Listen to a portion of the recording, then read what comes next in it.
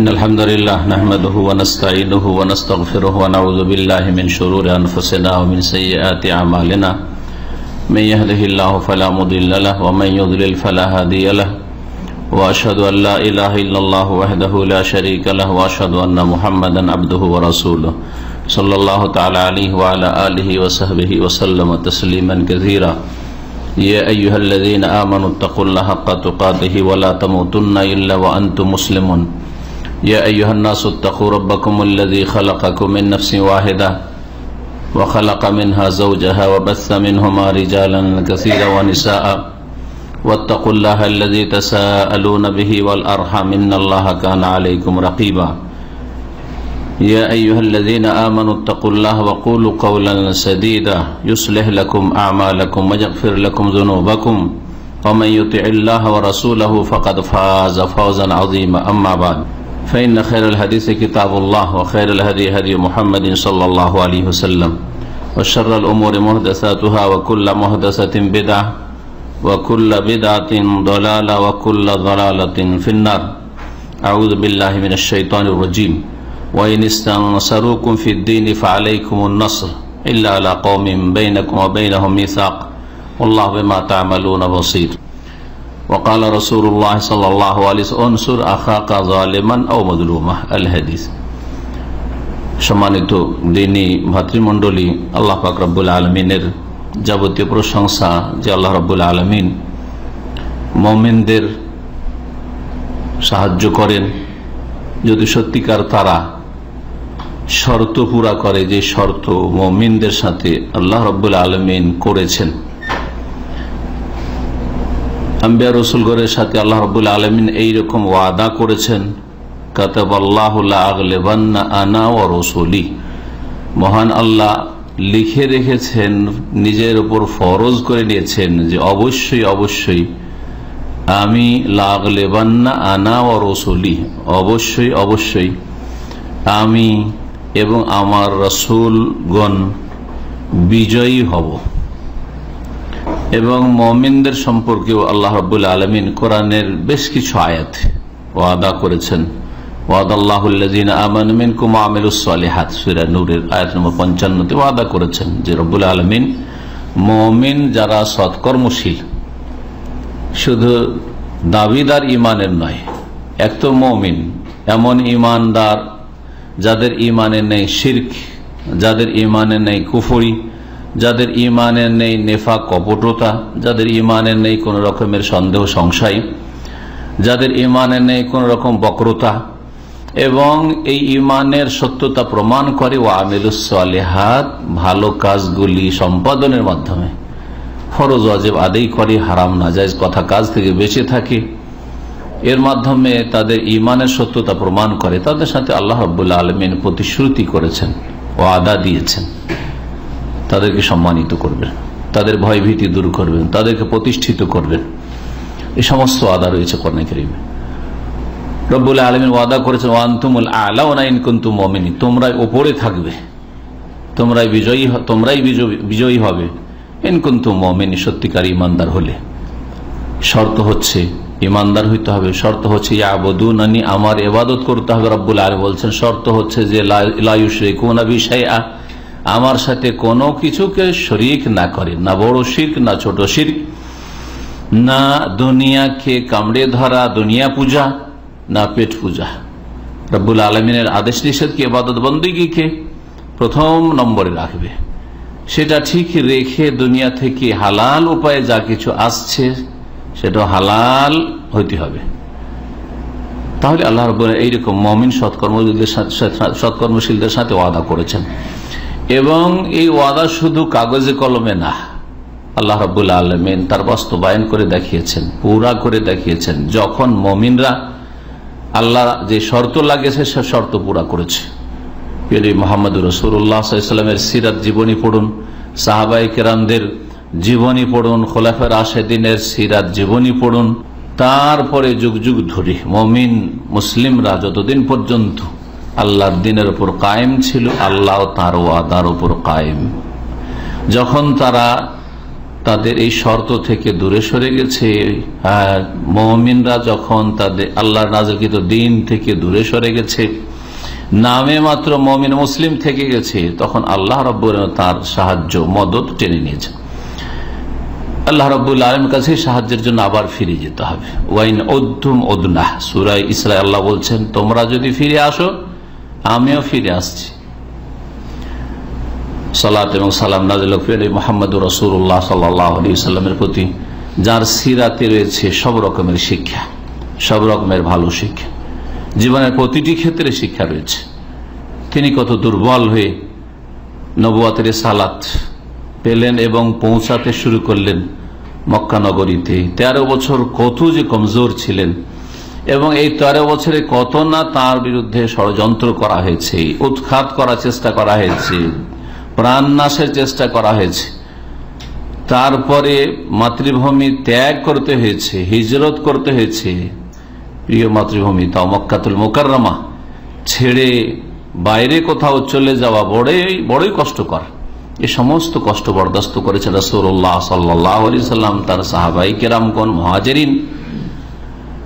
তখন আল্লাহ রাবুল আলমিন হিজরতের মাত্র সাত বছর পরে অষ্টম হিজড়িতে নসরুল্লাহ আল্লাহর সাহায্য নেমে এসেছে এবং বিজয় আল্লাহ রব দান করেছেন প্রিয় রসুল সাল্লাহ আলি সাল্লাম তাঁরই ওম্মত আমরা। সুতরাং বাস্তবায়ন হবে রব্বুল আলমিনের ওয়াদার যদি আমরা শর্ত পুরা করি। আজকের আলোচনার বিষয়বস্তু খানিকটা এইরকমই। আজকে সারা বিশ্বে মুসলিমরা সবচাইতে বেশি মজলুম, নির্যাতিত, দুর্গত, অসহায়, কমজোর এবং তাদের ভাগ্য নিয়ে খেলা করা, ছেনেমেনি করা, এটা সমস্ত কুফুরি শক্তির চরিত্র হয়ে গেছে। এবং মুসলিমদের যে কোনো ক্ষয়ক্ষতি করলে কোনো রকমের ভয় নেই, ঝুঁকি নেই, আশঙ্কা নেই, এটা ভালো করে কুফরি শক্তির উপলব্ধি করেছে। কেন এই দুর্গতি আমাদের? এগুলির কারণ অনেক রয়েছে। কারণও বলব না আজকে, সমাধান বলব অন্য সময়, এবং আমার বিভিন্ন আলোচনাগুলি সত্যিকার আল্লাহর সাহায্য নেমে আসার উপায় বলে আলোচনা রয়েছে বেশ কিছু। তারপরে মুসলিম জাতির অধপতনের কারণ, এইরকম আলোচনাও রয়েছে। সেই আলোচনাগুলি এই বিষয়ে যথেষ্ট। আজকে যে বিষয়টি আলোচনা করব। মুসলিম ভাইরা যে মজলুম, বোনেরা যে মজলুম, শিশু নারী, বৃদ্ধ, সমস্ত স্তরের মুসলিমরা যে আজকে মজলুম, বিশেষ করে আমাদের প্রতিবেশী, বার্মার আরাকানের মুসলিম রোহিঙ্গা ভাই বোনেরা তাদের ওপর এত বড় জুলম হয়েছে মানব জাতির ইতিহাসে এইরকম জুলম হয়তো কখনো হয়েছে কি না চোদ্দশো বছরের ইতিহাসে এইরকমের জুলমের শিকার মুসলিম হয়নি। তবে প্রাচীন যুগে অনেক জাতির ওপর এইরকম জুলম হয়েছে। যেমন সুরাই বুরুজের তফসিরে রয়েছে। তাদেরকে আগুনে জ্বালানো হয়েছে।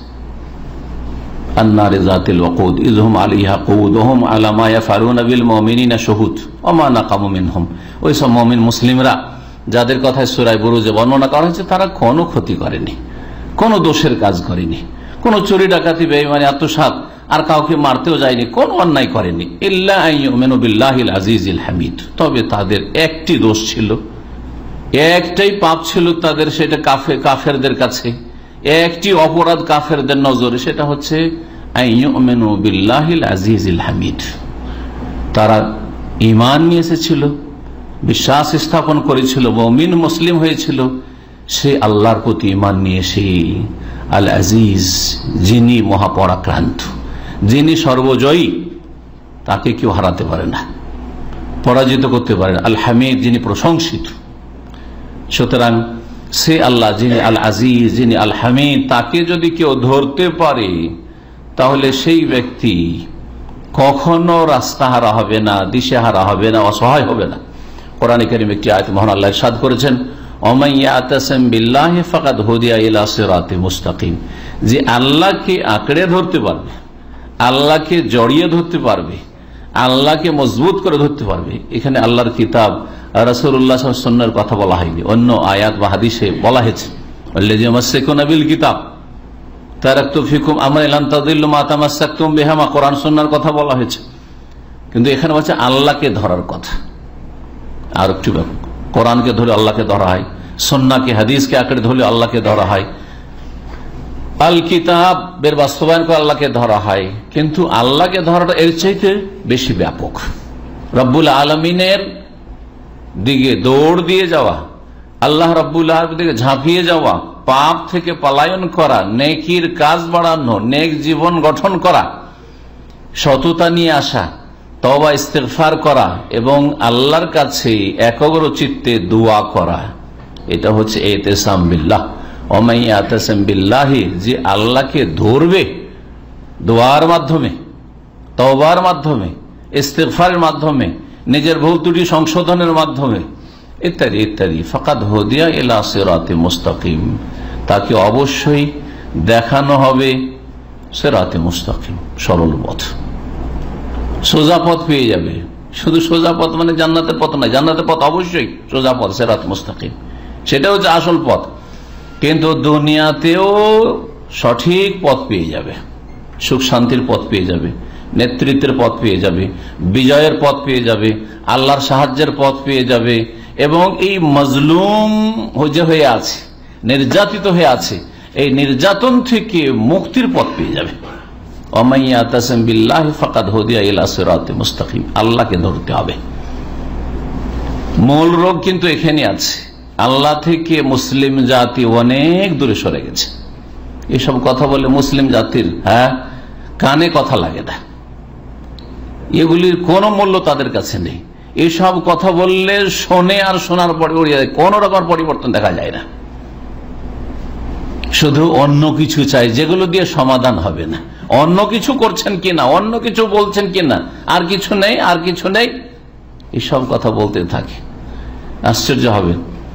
এই সময়গুলোতে মাঝে মধ্যে টেলিফোন আসে, এরকম আবেগে মুসলিম যুবকদের, ভাইদের অথবা বোনদের টেলিফোন আসে। আসার পর বলে যে, শেখ, আমাদের এখন করণীয় কি? করণীয় কি? যদি বলি যে, আল্লাহকে ধরেন, আর দোয়া করেন, আর মানে এগুলো দরকার নেই। হ্যাঁ তবা ইস্তেকফার করেন। আছে। তবা ইস্তেকফার কেন করবে? কোন কবিরা গোনা করেছে? জীবন পাবে, ডুবে আছে। এগুলির দিকে একেবারে ভ্রুক্ষেপ নেই। দোয়া করেন, কোন পরনে ভ্রুক্ষেপ নেই। অথচ ওকে যদি কসম দিয়ে জিজ্ঞাসা করা হয় যে, তুমি বলো তো যে একবার মুসলিম ভাই বোনদের ওইভাবে দোয়া করেছ? যেমন তুমি যদি জেলখানায় থাকো, দোয়া করো। হ্যাঁ? তোমার ওপর যদি মায়ের পড়ে কোনো কাফের, আর সেই সময় যে দোয়া বেরোবো এরকম দোয়া করেছ কি? তোমারই তো। ওম্মত মুসলিম একটা বডি সেই বডির অংশ তুমিও আর তারাও। দোয়া করেছ? তোমার ছেলে মেয়ে অসুস্থ হলে যেভাবে দোয়া করে দোয়া করেছ? হ্যাঁ তোমার মা বাপ অসুস্থ হয়ে বিছানায় পড়ে থাকে, হাসপাতালে পড়ে থাকে, যেভাবে দোয়া করে দোয়া করেছ মুসলিম ভাই বোনদের জন্য? হ্যাঁ বলে কোনো লোক জবাব দিতে পারবেন না আজকাল। আর কিছু আর কিছু মানে? প্রতিবাদ কোথায়? মানে শুধু কথার প্রতিবাদ। অথবা রাস্তায় নেমে যেতে হবে। হ্যাঁ বিক্ষোভ দেখাইতে হবে। এত লোক আমরা নামতে পেরেছি, এত লোক প্রতিবাদ গড়ে তুলতে পেরেছি। এই আপনার সোশ্যাল মিডিয়াতে আমরা খুব লেখালেখি করতে পারছি। এগুলি আর তামাশা দেখছি। সেই খারাপ দৃশ্যগুলি যেমন তামাশা দেখে টাইম পাস করা হচ্ছে আর কিছু না। অথবা যদি খুব বেশি দিনদারি থাকে, তো ভিতরে আগুন জ্বলছে, কিন্তু এ আগুন নিভাবার ব্যবস্থা নেই আমাদের কাছে। এগুলি আসলে সমাধান নাই। আর এগুলি দিয়ে মুসলিম জাতির কিছু হবে না, যেগুলিকে আজকালকার মুসলিম লোকেরা বা মুসলিম জাতি সমাধান মনে করছে। আমাদের করণীয় মজলুম নির্যাতিত মুসলিম ভাই বোনদের ক্ষেত্রে, বিশেষ করে বার্মা নির্যাতিত মুসলিম ভাই বোনদের ক্ষেত্রে আমাদের করণীয় কি? করণীয় বেশ কিছু রয়েছে। কিন্তু যে যেটা পারছেন যে যেমন স্তরের মানুষ যে যেমন ক্ষমতা রাখেন তেমন করবেন। ঠিক ওই রকমই যেমন যার কাছে টাকা পয়সা নেই কিন্তু শরীরটা সুস্থ আছে হোশ জ্ঞান আছে। শরীর মোটামুটি সুস্থ আছে বা অসুস্থই কিন্তু হোশ জ্ঞান আছে। নামাজ পড়তে হবে না হবে না? হ্যাঁ? কালেমার শাহাদাত দিতে হবে কি হবে না? তো কালেমার শাহাদাত দেওয়া আর পাঁচ অক্ত নামাজ পড়া। আমির, গরিব হ্যাঁ সুখী, দুঃখী, সুস্থ, অসুস্থ, হুঁশ থাকলেই সবাইকে কি করতে হবে? কালমার শাহাদাত সবসময় অন্তর রাখতে হবে। আসাদু আল্লাহ ইরাহিল ওয়াসাদ রসুল্লাহ আর কি? পাঁচ হপ্তাহ নামাজ যতক্ষণ হুঁশ আছে। দাঁড়িয়ে, না পারলে বসে, না পারলে শুয়ে পড়তে হবে। যদি রোজার কথা বলি গরিব মানুষ রোজা রাখবে না রাখবে না? রাখবে। কিন্তু যদি অসুস্থ হয়, রোজা রাখবে না।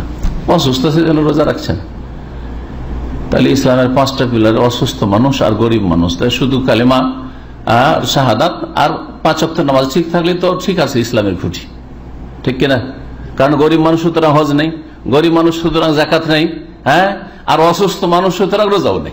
এখন, স্থায়ী অসুস্থ কোনোদিনে রোজা নেই। ভালোই হইল না, মরে গেল। কোনোদিন রোজা নেই বুঝতে পারছেন? তো ঠিক ওই রকমই আমাদের মজলুম মুসলিম ভাই বোনদের ক্ষেত্রে যার যতটা ক্ষমতা আছে, ওই অনুযায়ী ওর কাজ আছে। একজন লোক সুস্থ আর সচ্ছল, হুঁশে আছে, সবকিছু ঠিকঠাক আছে। রসুল্লাহ করতে হবে।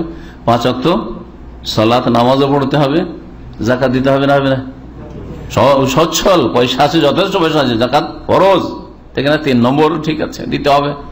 আর চার নম্বর, সুস্থ, মকিম বাড়িতেই রোজা রাখতে হবে না হবে না? রোজাও রাখতে হবে। সচ্ছল, পয়সা আছে, যথেষ্ট।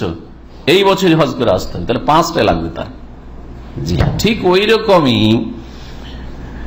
নির্যাতিত মুসলিম ভাই বোনদের ক্ষেত্রে আমাদের করণীয় সকলের এক সমান নয়।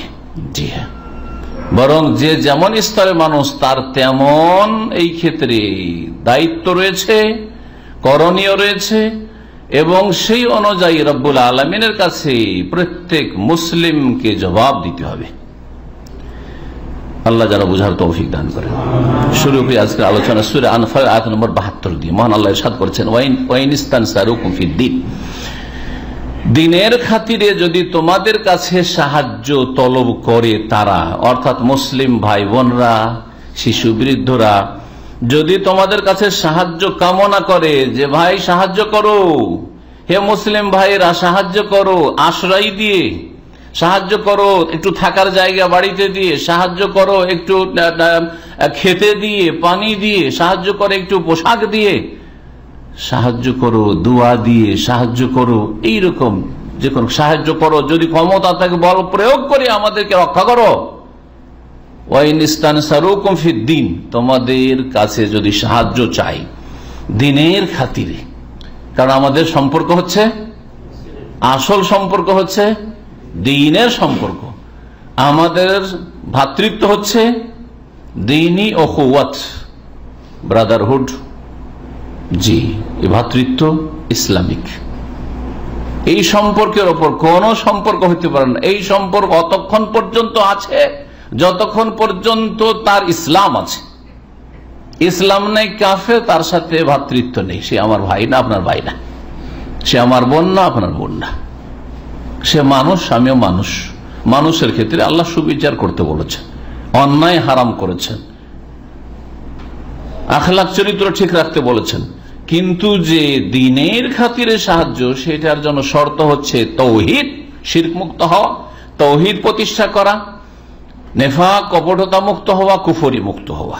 দিনের খাতে ইন্নামাল মেনুনা এ হওয়া সুরায় হুজরাত মহান সাদ করছেন, মমিনরা পরস্পর ভাই বোন জি। সুতরাং ভাই বোন যদি তোমাদের কাছে দিনের খাতিরে সাহায্য চাই ফালাইকুমন নাসরু। তাহলে তোমাদের ওপর সাহায্য করা ফরজ, আল্লাহ বলছেন তোমাদের ওপর সাহায্য করা আবশ্যক। তারপরে শরীয়তের বিধান অত্যন্ত ব্যাপক হতে পারে যে কারও সাথে চুক্তি আছে। সেই চুক্তি ভঙ্গ করা যাবে না যতক্ষণ পর্যন্ত তারা চুক্তি ভঙ্গ না করেছে। সুতরাং আল্লাহ বলছেন, ইল্লা আল্লাহ কমিমবাইনা কবাইন তবে যদি এমন কোন সম্প্রদায়ের ক্ষেত্রে হয়, যাদের মাঝে আর তোমাদের মাঝে কোনো চুক্তি করা আছে। সুতরাং চুক্তি ভঙ্গ করা হারাম, গাদ্দারি হারাম, বিশ্বাসঘাতকতা হারাম, তাই করা যাবে না। কিন্তু চুক্তি আছে এই যে আমরা আমাদেরকে তোমরা শান্তিতে থাকতে দেবে, মুসলিম জাতিকে আর তোমাদেরকে আমরাও শান্তিতে রাখব। আমাদের ওপর কোন রকমের আক্রমণ করবে না আমাদের ক্ষয়ক্ষতি করবে না, তোমাদের ক্ষেত্রেও কোন রকমের এইরকম আমরা উদ্দেশ্য রাখি না।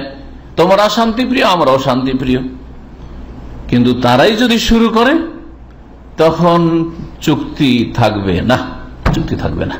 কিন্তু এটা জনগণ করবে না, এটা মুসলিম শাসকের দায়িত্ব। চুক্তি আর নেই তোমাদের সাথে, কারণ তোমরা বিশ্বাসঘাতকতা করেছ। এই ঘোষণা মুসলিম শাসক করবে।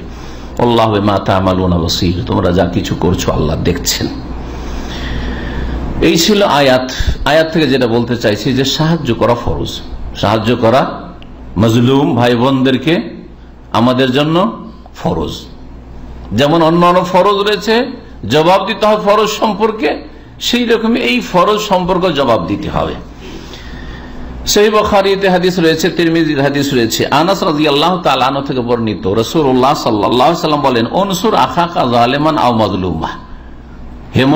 তুমি সাহায্য করো তোমার ভাইকে। আখাকা মানে তোমার রক্তের ভাই না, তোমার মুসলিম ভাই। মুসলিম ভাই রক্তের হইল, আর মুসলিম ভাই রক্তের না হইলেও মুসলিম ভাই নিজের ভাষাভাষী হইল। মুসলিম ভাষী মুসলিম অন্য ভাষাভাষী হইলেও যে কোনো ভাষার আর যে কোনো রঙের হোক না কেন, অনসুর আখা আকা তোমার মমের মুসলিম ভাইয়ের সাহায্য করো, জালেমান সে জালেম হলেও মজলুমান অথবা মজলুম নির্যাতিত হইলেও নির্যাতনকারী অথবা নির্যাতিত, উভয় অবস্থায় তুমি তোমার মমিন মুসলিম ভাইয়ের সাহায্য করবে। ফকাল রাজল রাসুল্লাহ একজন লোকের প্রশ্ন জাগলো, আর আপনাদেরও প্রশ্ন জেগেছে। যদি হাদিসের সঠিক ব্যাখ্যা না জানা থাকে তাহলে হ্যাঁ? বললেন যে, ইয়া রাসুল আল্লাহ কেন মজলুমান। যদি নির্যাতিত হয় হ্যাঁ তার ওপর জুলম অত্যাচার চলছে, মজলুম হয়, তাহলে তো তার সাহায্য করব, তাকে জুলম থেকে রক্ষা করব তারপর জুলম হইতে দেব না। তাকে সাহায্য করব, তাকে রক্ষা করব, তাকে বাঁচাবো, তাকে আশ্রয় দেব। কিন্তু, আফারায়তা এদা কেন জালেমান জালেমকে কি করে সাহায্য করব? এটা বলুন তো এর ব্যাখ্যা আবার কি হতে পারে? বিভিন্ন ভাষা দিয়ে হাদিসটি এসছে। কেমন ভাবে জালেমের সাহায্য করো? স্বাভাবিক, একজন মানুষ যদি সঠিক অর্থ না জানে তো জালেমের সাহায্য করো। জালেমের কেমন করে সাহায্য? দুইজনে মারামারি চলছে, কিন্তু একজন শুধু মার খাচ্ছে, একজন মেরে চলে যাচ্ছে। যে মেরে চলে যাচ্ছে হচ্ছে জালেম, আর যে শুধু মার খাচ্ছে সে হচ্ছে মজলুম। দুই দিক থেকে যদি দেখছেন দুইজন কেউ কেউ কম না, এও মারছে, ও মারছে, তাহলে দুজনই জালেম। ঠিক না? কিন্তু একদিকে মার খাচ্ছে, আরেকজন মারছে। হ্যাঁ? একজনের বাড়ি ডাকাতি হচ্ছে, আরেকজন ডাকাতি করছে, চুরি করছে বা ছিনতাই করছে। তাহলে জালেমের সাহায্য করে মানে ছিনতাই করে দিবেন? হ্যাঁ ও মারছে তো আরও, ওর সাথ দেবেন দিয়ে মারবেন? না, কখনো এটা করা যাবে না। সাহাবাই কেন আমরা বুঝতে পারলেন না, যেমন আপনাদের বুঝতে অসুবিধা, যদি আসল ব্যাখ্যা না জানা থাকে। জালেমের কি করে সাহায্য খাই তাহাজহু আউ তামনা আহমিনা কাফা মানে বাধা দেওয়া মানে বাধা দেওয়া, আর মানে আমানেও বাধা দেওয়া। তুমি তাকে করা হতে করতে জুলম করা হতে বিরত রাখবে। তামনা ওহু মিনা জুলমে। জুলম করা থেকে তাকে রুকবে বাধা দেবে।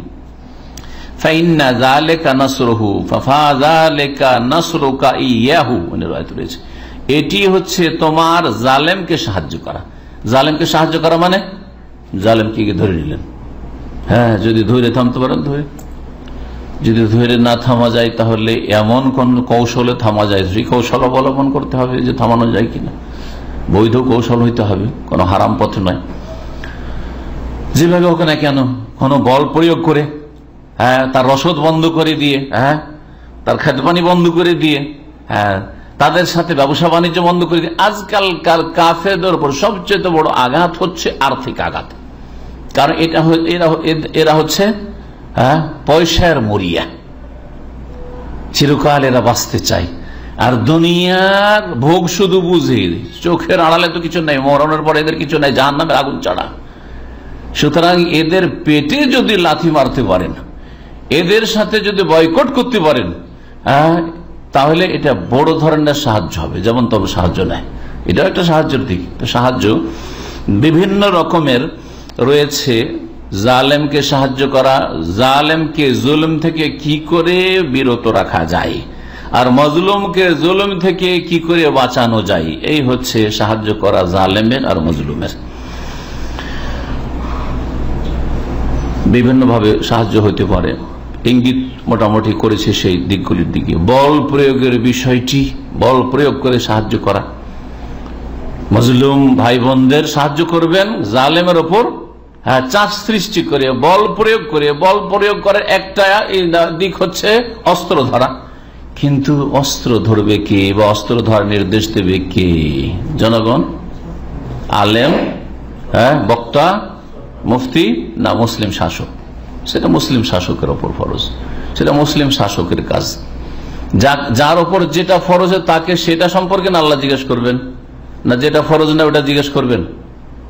আমার অসুস্থ মানুষ আমার রোজায় ফরজ নাই, তা আল্লাহ জিজ্ঞেস করব রমজান মাসের দিনে খেয়েছিলি কেন? জিজ্ঞেস করবেন কি?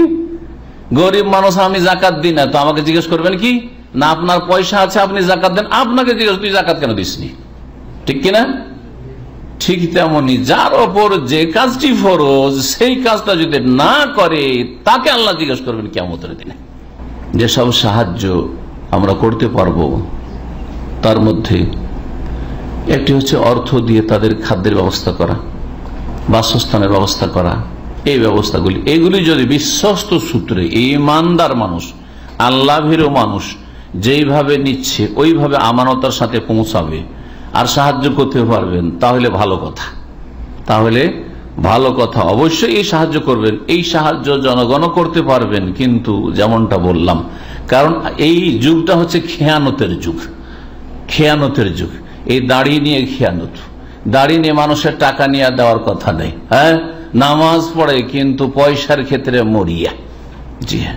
যার ফলে কে যে পয়সা পৌঁছাবে, আর কে যে নিজের পকেটে পয়সা ব্যাংকে পৌঁছাবে, এই সম্পর্কে আপনাকে মোটামুটি নিশ্চিত হইতে হবে যে তার মধ্যে আল্লাহ বিরুদ্ধ আছে কিনা। আজকে বিভিন্ন সাহায্যগুলি নিয়ে আলোচনা না করে, বিভিন্নভাবে যে সাহায্য করা যেতে পারে, সেগুলি নিয়ে আলোচনা না করে আমরা আলোচনা করব একটি দিক, যে সাহায্যটি সকল স্তরের মানুষ করতে পারবে। যেমন আমির করতে পারবেন, গরিব করতে পারবেন। যেমন পুরুষ করতে পারবেন, মহিলা করতে পারবেন। হ্যাঁ? যেমন সুখী করতে পারবেন, দুঃখী করতে পারবেন। হ্যাঁ? যেমন সুস্থ মানুষ করতে পারবেন, অসুস্থ মানুষ করতে পারবেন। বিছানায় শুয়ে শুয়ে করতে পারবেন আপনি এই সাহায্য। এবং এই সাহায্য অত হালকা না যেমন আজকাল অধিকাংশ মুসলিমরা, এমনকি নামাজি ধার্মিক অনেক, আজকালকার জামানা ধার্মিক, নামাজি হইলে ধার্মিক মনে করা হয়। এরাও মনে করছেন যে এটা আবার কথা হলো, শেখ দোয়া ছাড়া আর কিছু নেই।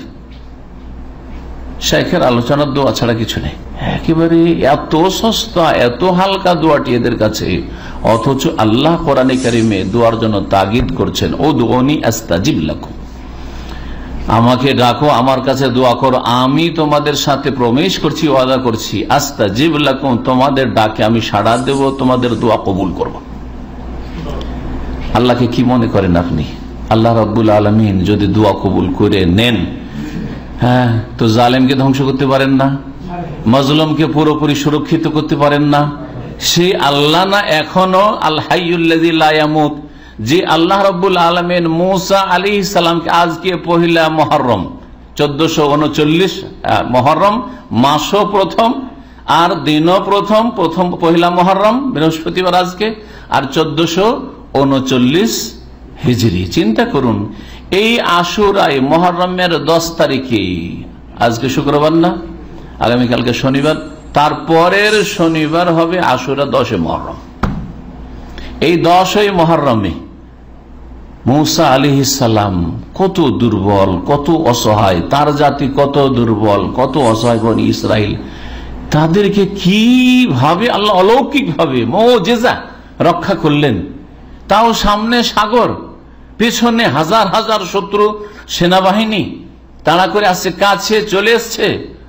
মৌসা আলী সালামকে বনি ইসরায়েল বলছে, মমিন তখনকার মুসলিম তারা মোসা ইন্নালামুদ্রা খুন এখন তো আমরা ধরা খেয়ে যাব।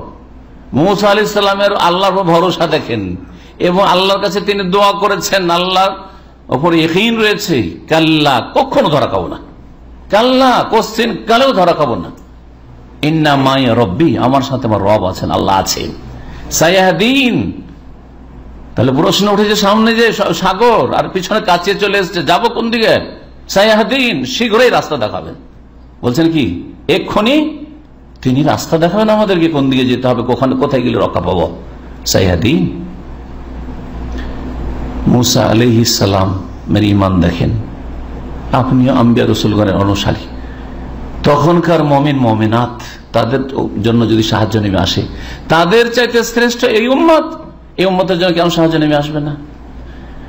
তাদের নবী মোসা আলী সালাম আমাদের নবী সঈদুল মুরসালিন খাতাম নবীর মোহাম্মদ রসুল্লাহাম চিন্তা করুন আপনি।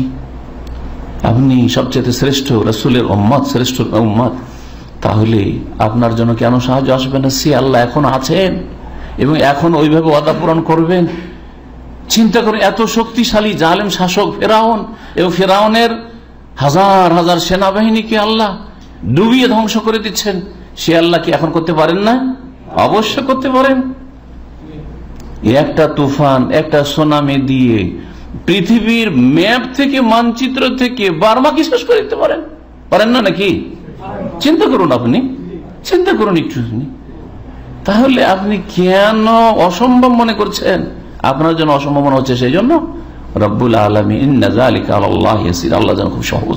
আল্লাহকে ডাকুন, ডাকতে শিখুন। জি। রব্বুল আলমিনের কাছে দোয়া করতে হবে। দোয়া করতে হবে। এই দোয়ার শক্তি শক্তি, এই সীমাহীন শক্তি, এর ক্ষমতা সোহান আল্লাহ মানুষ কল্পনা করতে পারেন না। যে কীভাবে আপনি আপনার মুশকিল আসান হয়ে যেতে পারে দোয়ার মাধ্যমে। সবকিছু আল্লাহর জন্য সম্ভব। আমাকে আপনাকে মনে হচ্ছে যেটা তো অসম্ভব লাগে। আল্লাহর কাছে সবকিছু সম্ভব, সবকিছু সহজ। এবং আরেকটি কথা এখানে বলি, মমিন মমিনা যারা মজলুম, নির্যাতিত, তাদের জন্য দোয়া করা আর জালেমের ধ্বংসের জন্য দোয়া করা, একে বলা কোনোতে নাজিলা মানে বিপদ আপদ নেমে আসলে কোনোত করা, দোয়া করা। মমিনদের কল্যাণের জন্য, নির্যাতিত ভাই বোনদের কল্যাণের জন্য, মঙ্গলের জন্য আর জালেম অত্যাচারীদের সর্বনাশের জন্য দোয়া করা, এটি এমন একটি গুরুত্বপূর্ণ সন্ন্যাত নবী করিম সাল্লা সাল্লাম নামাজের বাইরে না, নফল নামাজে না, সন্নত নামাজে না তাহাজুদে না, ফরজ নামাজে করেছেন। ফরজ নামাজে দোয়া করেছেন, ফজরে করেছেন, এশাই করেছেন, মাগরিবে করেছেন করেছেন রসুল্লাহ জেহেরি সলাতে করেছেন। অলমারা বলছেন, যদি প্রয়োজন হয় এমন ভাবে দুশ্মন চারিদিক থেকে ঘেরে নিয়েছে, পাঁচবার যদি দোয়া করা প্রয়োজন হয়, জোহরেও করতে পারেন, আসরেও করতে পারেন, ফরজ নামাজের ভিতরে শেষ রাখাতে রুকুতে গুইটে করতে পারেন। এবং এই সুন্নতটি এখন মৃত সুন্নত। মুসলিমরা মুসলিম এক শ্রেণি অধিকাংশ আলেম সমাজ এই সৌদি আরব আর আরব দেশগুলি ছাড়া ভারত, বাংলাদেশ, পাকিস্তান এটি মৃত সুন্নত মেরে দিয়েছে জনগণ মারেনি, তাদের আলেম সমাজ মেরে দিয়েছে। আলেম সমাজ এটিকে হাদিসের পাতাই রেখে দিয়েছে। আমল করার জন্য সেই হাদিসগুলি নাই। আজকে সেই হাদিসগুলি তুলে ধরবো, দুয়ার হাদিস। যাতে করে বুঝতে পারে যে আপনার বিদাতি হুজুর যদি না করে, অথবা সুন্নতের দাবিদার কিন্তু সেই আলেম হুজুর যদি ইমাম সাহেব না করে, আপনি আপনার ইমান ইসলাম পালন করবেন, আপনি এই মৃত সন্ন্যতকে জীবিত করবেন। যদি মরে যাওয়া সন্ন্যতকে জীবিত করেন, যত লোক ওর ওপর আমল করবে, তত লোকের নাকি কেমত পর্যন্ত পেতে থাকবেন ইনশাআল্লাহ।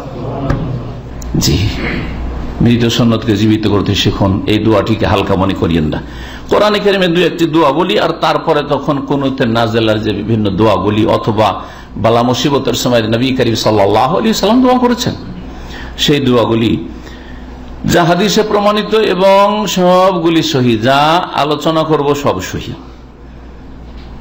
সুরাই অনুসার আয়াত নম্বর পঁচাশি, ছিয়াশি, এই আয়াতগুলিতে দোয়া আছে। মহান আল্লাহ বলছেন, মুসা আলি সালামের জাতির কথা। কারণ মুসা আলি সালামের জাতি আম্বিয়া রসুলগড় ইতিহাসে খুব মজলুম ছিল, নির্যাতিত ছিল।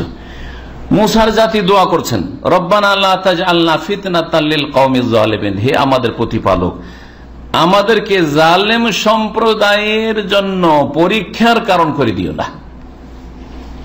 জালেম সম্প্রদায় যাতে করে আমাদের ওপর জুলম অত্যাচার এমন না করার সুযোগ পায় যে জুলমও করে যাচ্ছে তাদের কিছু হয় না।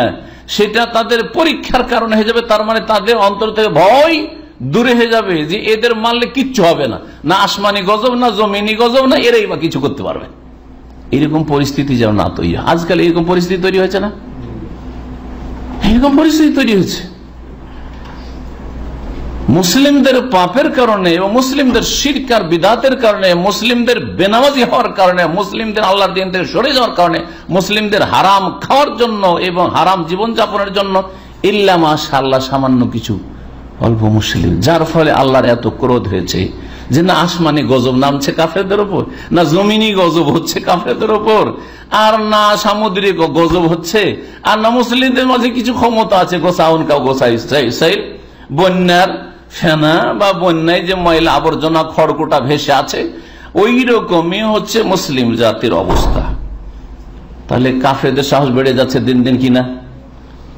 যত কাফের, যেগুলি বিদ্বেষী কাফের, জালেম কাফের যারা মুসলিমদের ক্ষেত্রে প্লান বানাচ্ছে যে মুসলিমদের অবস্থা স্পেনের মতো কি করা যেতে পারে? স্পেন থেকে এক একজন মুসলিমকে হয় খ্রিস্টান বানানো হয়েছে? আর না হলে মেরে দেওয়া হয়েছে, সেখানে হত্যা করা হয়েছে, জ্বালিয়ে দেওয়া হয়েছে, মসজিদের ভিতরে ঢুকে জ্বালিয়ে দেওয়া হয়েছে। আর না হলে তাদেরকে ধর্ম পরিবর্তন করতে বাধ্য করা হয়েছে, না হলে কেউ অল্প স্বল্প যান বাঁচিয়ে পালিয়েছে। এই প্লানিক অনেক কুফরি শক্তির। তার মধ্যে এহুদি শক্তি ইসরায়েলের। এই বার্মার জালেম সেনাবাহিনী এবং সেখানকার শাসকের। যে হয় এরা বুদ্ধিস্ট হয়ে যাক, আর না হলে বার্মা ছাড়ুক হ্যাঁ এদের বেঁচে থাকতে হবে। বার্মা ছাড়ুক কোথায়? বার্মা ছেড়ে পালিয়ে আসা তো ভাগ্য ভালো হ্যাঁ? এদেরকে মেরে দেওয়া হবে, তাও কীভাবে? এইভাবে যদি কোনো কুকুরকেও কাফের মারা হয়, তো বড় ধরনের কেস হয়ে যাবে। বড় ধরনের কেস হয়ে যাবে। হিংস্র পশুকেও যদি মারা হয়, তাহলে বড় কেস হয়ে যাবে আপনার উপর। যেভাবে মুসলিমদেরকে মারা হচ্ছে। এতে কুফরি শক্তির সাহস বেড়ে যাচ্ছে। এমন আল্লাহ আমাদের দুর্দশা করে দিও না। রব্বানা আল্লাহ তাজ আল্লাহ ফিতনা তাল্লিল কমিল জালিমিন যে ওদের অন্তর থেকে ভয় দূর হয়ে যায়। ভয় দূর হয়ে গেছে। তোমার তোমার রহমতে আমাদেরকে রক্ষা করো কাফের সম্প্রদায়ের কবল থেকে, কাফের সম্প্রদায়ের অনিষ্ট থেকে।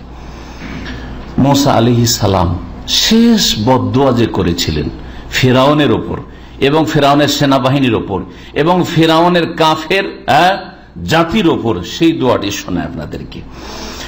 সুরা আয়াত নম্বর অষ্টআশিতে এই রয়েছে দোয়া।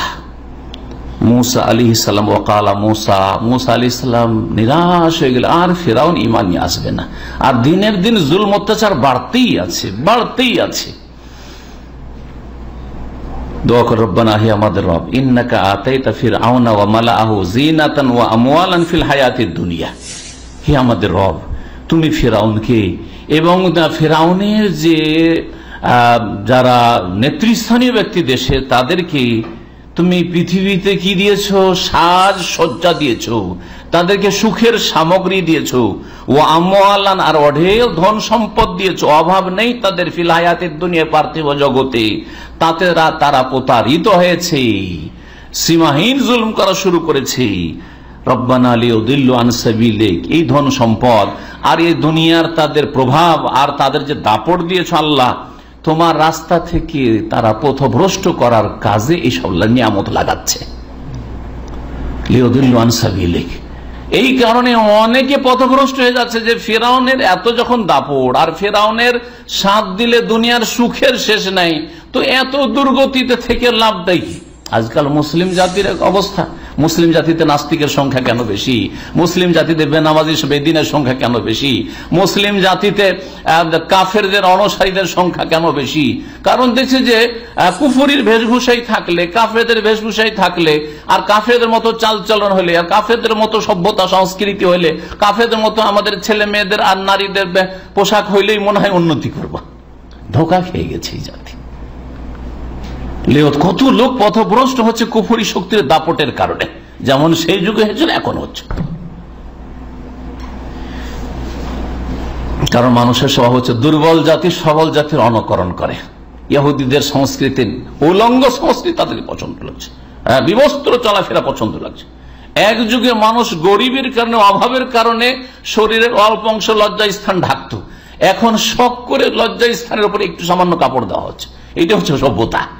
ইহুদিন আসারাদের সভ্যতা আর এইটাকে এক শ্রেণি মুসলিম মনে করছে যত টাইট করব আর যত শর্ট করব যত ছোট কাপড় চোপড় আমাদের ছেলে মেয়েদের হবে তত আমরা সভ্য জাতি হইতে পারব। যার ফলে এখানে একটা ফিতা আহ, যদি একটা নাইটি থাকে তারপরে তার একটা হচ্ছে টি শার্ট মহিলাদের আর তারপরে একটু হাঁটু পর্যন্ত বা তার ওপরে একটু সামান্য কিছু ঢাকলেই হয়। অবশ্যই অবশ্যই অনুসরণ করবে। মুসলিম জাতি দুর্বল হওয়ার কারণে কাফেরদের গর্তে ঢুকে পড়েছে। মুসা আলি করছে, আল্লাহ, তুমি এদেরকে এসব দিয়েছ। আর এরা এসব দিয়ে কি করছে? তোমার রাস্তা থেকে মানুষকে পথভ্রষ্ট করে নিয়ে যাচ্ছে। এখনও বদ করছেন, শেষ বদোয়া মুসা আলি সালামের, শেষ দোয়া ছিল এটি। এরপরই ধ্বংস হয়েছে ফেরাউন। এবং ফেরাউনের সেনাবাহিনী। রব্বানা তুমি আলামু আলিহিম হে আল্লাহ, তাদের ধন সম্পদ গুলোকে নিশ্চিন্ন করে দাও। ফেরাউন এবং ফেরাউনের সেনাবাহিনীর ধন সম্পদকে নিশ্চিন্ন করে দাও। দোয়াটা মুখস্থ করে। রব্বানা তুমি আলা আমু এবং দোয়া করেন, আল্লাহ, বারমার, বুদ্ধিস্ট, শাসক এবং সেনাবাহিনী, সেখানকার জালেম জনগণের ধন সম্পদকে ধ্বংস করে দাও। নিশ্চিন্ন করে দাও। সেই দেশকে নিশ্চিন্ন করে দাও। মুসলিমদেরকে তাদের মাঝে থেকে সহি সালামত তুমি বের করে নাও। রব্বানাত মিসালা আমু আলহিম আল্লাহ এবারমার জালেম শাসক, সেনাবাহিনী এবং যত জালেমরা রয়েছে, তাদের জনগণ জালেম বুঝিস তাদেরকে নিশ্চিন্ন করে দাও, তাদের ধন সম্পদ নিশ্চিন্ন করে দাও, তাদের সামরিক শক্তি নিশ্চিন্ন করে দাও, তাদের জমিনকে নিশ্চিন্ন করে দাও। রব্বানাত মিসালাম আলহিম ওয়াসদুদ আলা কুলু বেহিম এবং আল্লাহ তাদের অন্তরকে শক্ত করে দাও, কঠিন করে দাও। আলিম, অতক্ষণ পর্যন্ত ইমান না হয়, যতক্ষণ পর্যন্ত মর্মান্তিক শাস্তি না দেখে নিয়েছে, অর্থাৎ না ঢুকেছে। আলিম, যদিও নবী জাতির জন্য যতই বড় জালেম হোক, তাদের জন্য হেদায়তের দোয়া করেছেন। মৌসা আলী ইসলামের দোয়াই নয় যে বাড়াবাড়ি ছিল। মৌসা আলী ইসলাম দেখছেন, এই জাতি এত সীমা লঙ্ঘন করেছে যে এই জাতির ইমান ইসলাম নসিব হবে না। তাই এই দোয়াই করেছেন, এরই হকদারেরা এরা এত না পাক এত নোংরা, যেমন শুকুর। শুকুরকে যদি জমজমের পানি দিয়েও গোসল করান, তো গোসল করে পাক পবিত্র করা যাবে কি? ঠিকই তেমনি এই বারমার কাফেরদেরকে যদি জমজমের পানি দিয়ে গোসল কর ওই রকম ওই রকম ফেরাউন, ফেরাউনের সেনাবাহিনী। তাই মুসা আলাম দোয়া করেছেন যে, আল্লাহ এরা যখন পাক করা যাবে না, তো পাক না হলে তো জান্নাতে আসতে পারবে না। তাহলে এই তো কলিমার তো হক হকই রাখে না এরা। সুতরাং এরা মর্মান্তিক শাস্তি দেখার আগে যেন তাদের ইমান নসিব না হয়।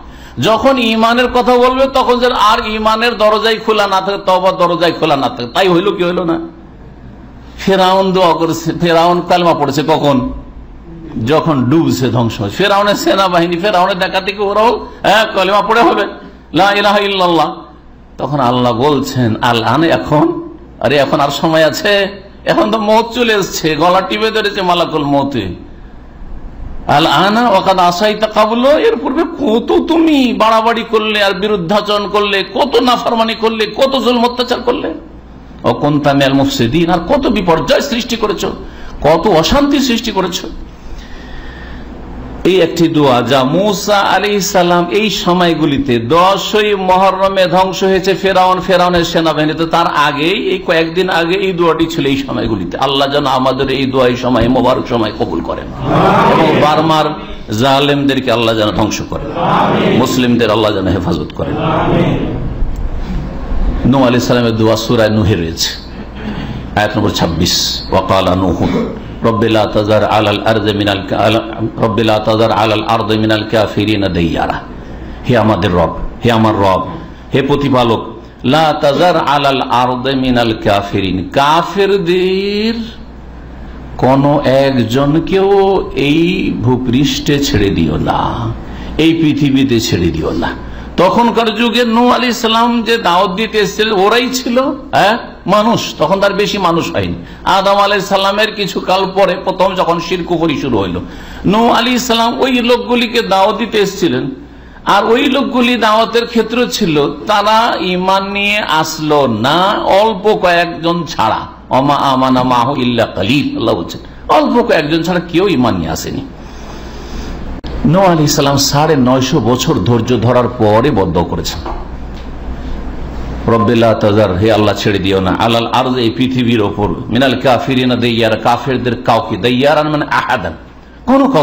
না।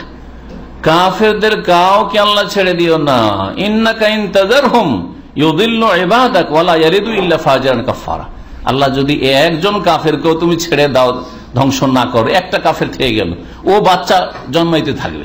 আর কাফের বাচ্চা জন্মে আবার কুফুরিতে ভর্তি করে দিবে, তোমার জমিনকে সুতরাং আল্লাহ সবকে ধ্বংস করে দাও। এত বিশাল আল্লাহ বন্যা দিলেন যে পাহাড়ে চড়েও রক্ষা পেল না নু আলী সালামের কাফের ছেলে। ঠিক না? জি। এই ছিল কোরআনে আয়াতে বদুয়াগুলি হ্যাঁ দুইজন নবীর কথা বললাম। হাদিসে বেশ কিছু দোয়া রয়েছে, কোনতে নাজেলা নবী করিম সাল্লাহ আলী সাল্লামের কিছু দোয়া শোনাই, প্রথম দোয়া সহি বখারিতে রয়েছে। আবু রাজি আল্লাহ তালা থেকে বর্ণিত, আন্না নবী সাল্লাহ কানা ইদা কালা সামি আল্লাহ হামিদা ফির রাকাতিল আখির মিন সলাতিল এশা এশার সলাতে শেষ রাকাতের রুকু থেকে উঠে যখন সামি আল্লাহ মান হামেদা বলতেন সামি আল্লাহ মানে রুকু হয়ে গেছে, ঠিক না? রুকু থেকে উঠে তাহলে রুকুর পরে। এই কোন কখন করতেন? বাদার রুকু রুকুর পরে করতেন। জি, কোনতে নাজেলা, রুকুর পরে করতেন। আর বেতরের কোন রুকুর আগেও করা যেতে পারে, রুকুর পরেও করা যেতে পারে। কোনমত পড়তেন আর বলতেন আল্লাহ আনজে আইয়া শিবেন আবির আবিয়া নবী করিম যখন হিজরত করে মক্কা চলে থেকে মদিনা চলে আসলেন, মক্কা থেকে অনেক সাহাবাই কেন ধীরে ধীরে হিজরতের চেষ্টা করল যে, মদিনায় চলে যায় সেখানে নিরাপদ থাকব ইমানের হেফাজত করব আর সেখানে গিয়ে নামাজ পড়া যাবে। নবী সাল্লামের কাছে দিন শিখা যাওয়া হিজরত ফরজও ছিল। হিজরত ফরজ ছিল, যেমন নামাজ ফরজ রোজা ফরজ, এরকম হিজরত তখন ফরজ ছিল মক্কা বিজয়ের আগে। বেশ কিছু সাহাবাই কেরাম যারা অসহায়, দুর্বল, কমজোর, কাফেরদের হাতে ধরা খেয়ে গেল। হিজরত করে আসছে, ধরে ফেলল। ধরে তাদের হাত পা বেঁধে ঘরের মধ্যে ফেলে দিল। কি রকম জেল হইতে পারে চিন্তা করুন, সেই যুগের কাফেদের ঘরের ভিতরে হাত পা বেঁধে বন্দি রাখা। তাদের কয়েকজনের নাম এখানে আসছে। নাম ধরে ধরে নবী করিম তাদের মুক্তির জন্য, তাদের রেহাইয়ের জন্য, তাদের উদ্ধারের জন্য দোয়া করছেন। কত ব্যথা ছিল, ইমানি ব্যথা, ইমানি ভাতৃত্ব। নবী করিম সাল্লাম সাধারণ গরিব মানুষ ধরা খেয়ে গেছে কাফেরদের, তাদের এক একজনের নাম ধরে আল্লাহ তাদেরকে রক্ষা করে দোয়া করছেন। চিন্তা করেছেন আপনি? তাহলে দোয়ার কত গুরুত্ব রয়েছে মুসলিম ভাই বোনদের জন্য, তাদের কল্যাণের জন্য?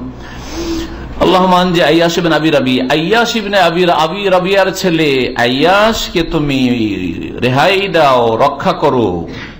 আল্লাহ আঞ্জেল ওয়ালিদ ওয়ালিদ। ওয়ালিদের ছেলে বাব্বাটার নাম আরবদের মধ্যে এক হয়, ছিল। বিন তুমি রক্ষা করো, সেই মুসলিম হয়েছিল। আল্লাহ আনজে সালমা হেসাম হে আল্লাহ হেসামের ছেলে, সালামাকে রক্ষা করে। এদেরকে সবকে হাত পা বেঁধে ধরে রেখেছে, আর জুল অত্যাচার চালাচ্ছে, তারা হিজরত করে আসছিল। কোনো অপরাধ না। মক্কা থেকে খালি হাতে চলে আসছিল যে মদিনায় চলে যাব। কোনো কিছু নিজেরগুলো নিয়ে আসেনি, পরে তো দূরের কথা। আল্লাহ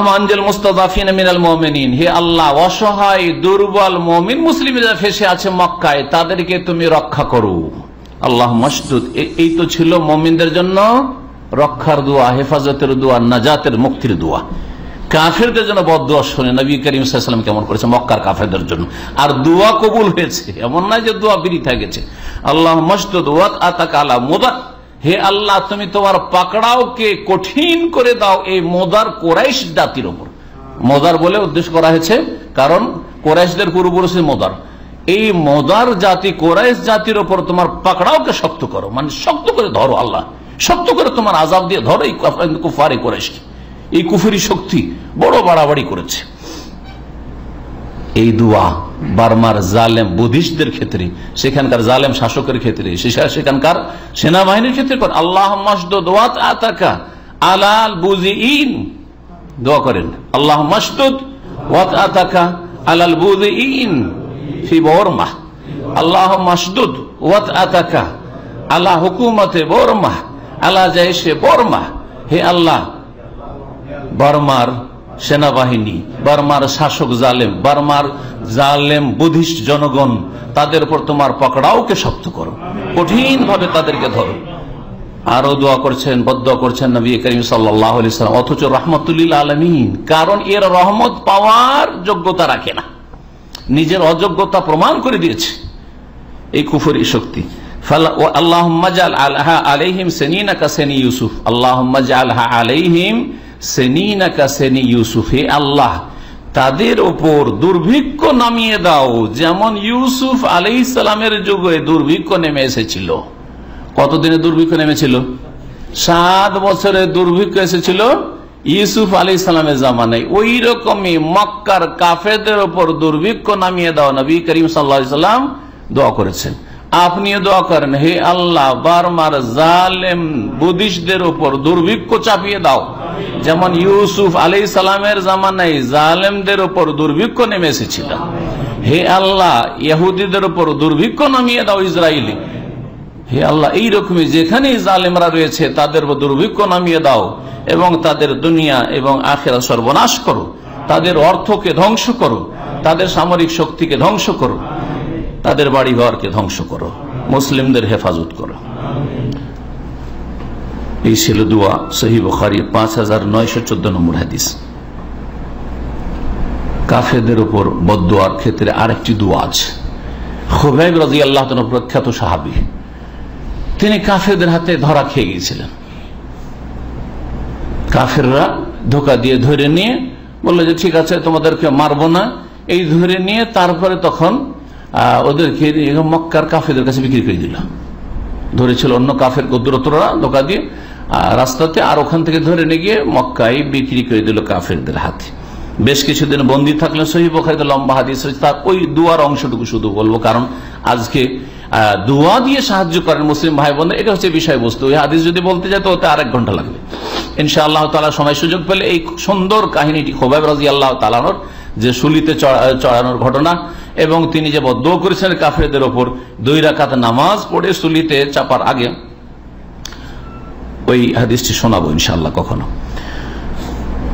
বলছেন যে একজন মহিলা, সে কুফির অবস্থায় ছিল, পরে ইসলাম গ্রহণ করেছে, তারপর হাদিসটি বর্ণনা করেছে। ওই মহিলা বলছে যে ওকে নিয়ে যখন হত্যা করা হবে, তো হারামের এলাকাতে কাফেররা হত্যা করতো না।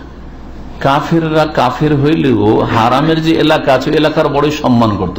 যার ফলে কাউকে যদি মারতে হয়, তা হারামের বাইরে হালাল এরিয়াতে নিয়ে যেত। ওই যে মসজিদের তা নেই মসজিদ আয়সা আছে না, ওর বাইরে। অথবা ধরেন ওই মুজদালিফার বাইরে আরাফার দিকে। এক কথায় বাইরে, হদুদ হারাম, হারামের যে বর্ডার আছে, ওর বাইরে নিয়ে গিয়ে খুন করত। তো বলছে, ফালাম্মা খারাজু বহিমিনাল হারাম। হারামের এলাকা থেকে যখন বাইরে নিয়ে গেল খোবেব রাজি আল্লাহ তাকে কাফের আলী একতুলু ফিল হিল্লে যাতে করে হালাল এলাকাতে তাকে খুন করা হয়।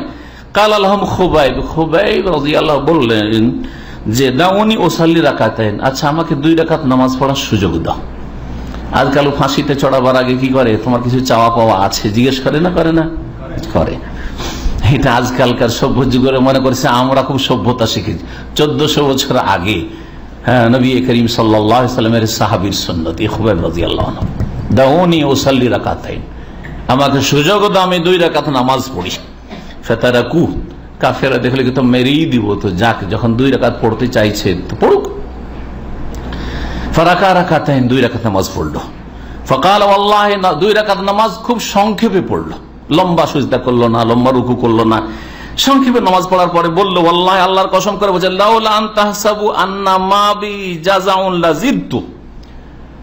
যদি আমার এই আশঙ্কা না হইতো যে আমি নামাজ লম্বা করলে রুকু, সেজদা, অথবা দুইয়ের জায়গায় চার, ছয় পড়লে, তোমরা ভাবতে যে এ মনে হয় মরণকে ভয় পেয়েছে, সেজন্য নামাজের বাহানায় কিছুক্ষণ বাঁচতে চাইছে।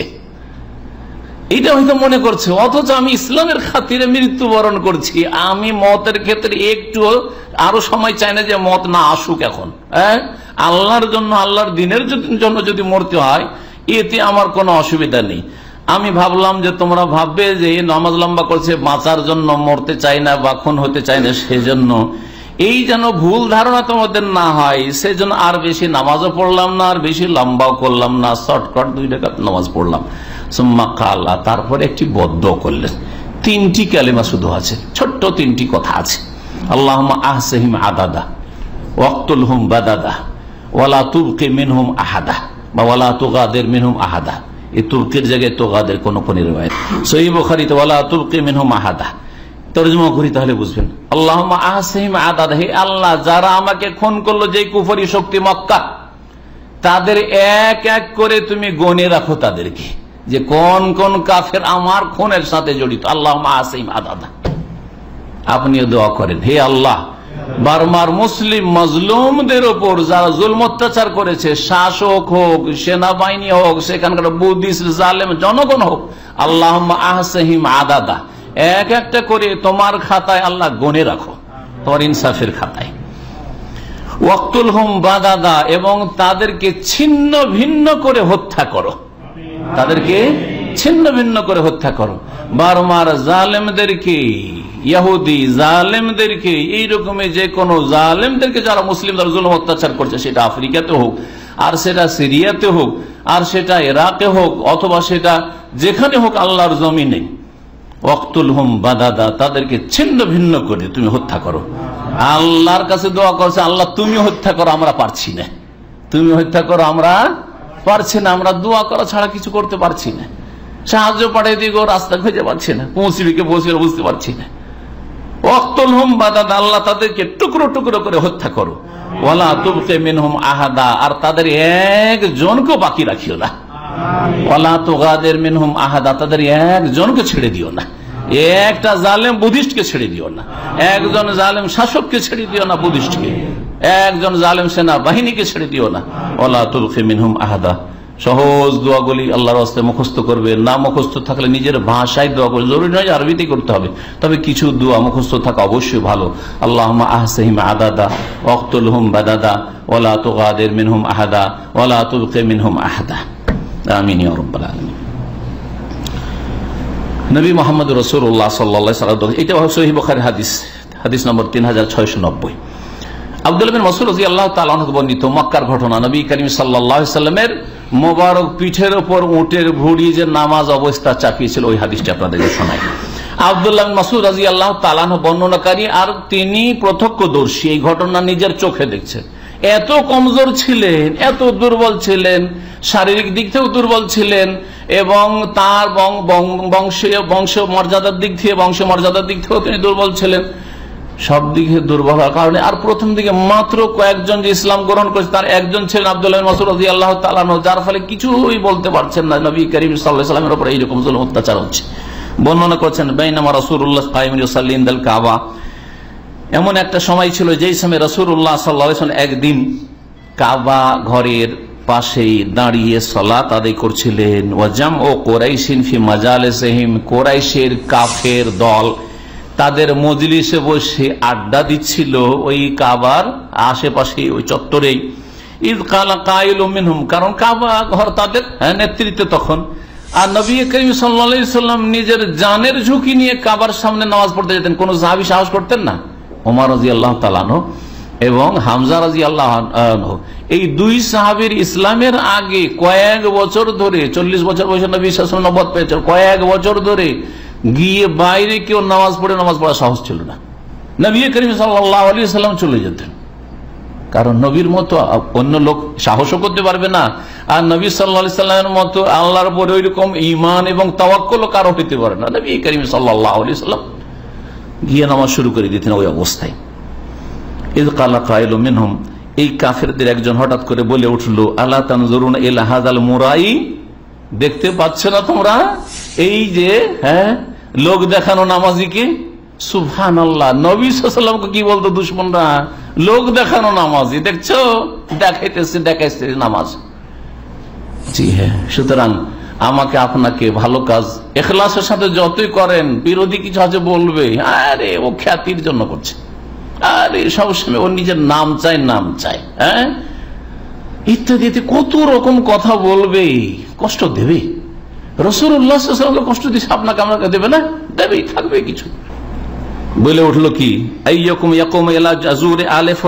তোমাদের মধ্যে কে আছে বলো তো দেখি যে ওই যে অমক বংশের একটা উঁট জবাই হচ্ছে, সেই উঁটের কাছে যাবে, আর যে জবাই হয়েছে আর যাওয়ার পরে সেখান থেকে উঁটের ভুড়িটা নিয়ে আসবে। যাওয়ার পরে সেখান থেকে সে উঁটের গোবর, রক্ত আর ওই ভুড়ি কে নিয়ে আসতে পারবে? ফাইয়াজিও বেহি, সেটা নিয়ে আসবে। সোম্মায়ুম হেলহু আর তারপরে নিয়ে প্রস্তুত থাকবে। হাত্তাইজা সাজাদা, যেমনই এই মোহাম্মদ লোক দেখানো নামাজি, যখন যাবে ওয়াদা আহু বাইনা কাতে তখন তার কাঁধের ওপর রেখে দেবে। কে করতে পারে? কে এমন বাহাদুর আছে? জি, ঘোষণা করল আবু জাহাল আছে, ঘোষণা করছে। ওদবা সাইবার বড় বড় কাফের নেতার আছে, ঘোষণা করল তাদের মধ্যে সবচেয়ে বদ প্রকৃতির মানুষ যে বদমাইশ, সে বল আমি, লাফ দিয়ে উঠল। তার নাম কি ছিল জানেন? ওকবাবেন আবি মহিদ ওকবাবেন আবি মহিদ আসকাহ এই মক্কার কাফেরদের সবচেয়ে বদ প্রকৃতির মানুষ আজকাল কম এই ওকবাবিন আবি মহিদ আর সমুদ জাতির সবচাইতে বদ প্রকৃতির মানুষ ওই লোকটি, যেই লোকটি সেই যুগের যে উষ্টি মজেজার উষ্টি দেওয়া হয়েছিল, ওই জাতিকে মুসা আলী সালাম যে নবী ছিলেন, ওই নবীর মাধ্যমে একটা উঠ পাথর থেকে আসলো আর দুধ দিচ্ছে হ্যাঁ? সে একদিন উঠ পুরো পানি পান করবে, আরেকদিন ওরা পান করবে। আল্লাহ দিলেন পরীক্ষা ফেলে। ওরা উঠকে কি করল? জবাই করার জন্য ঘোষণা করল যে, কে আছে তোমাদের মধ্যে বলো তো যে উঠটাকে আজকে জবাই করতে পারে?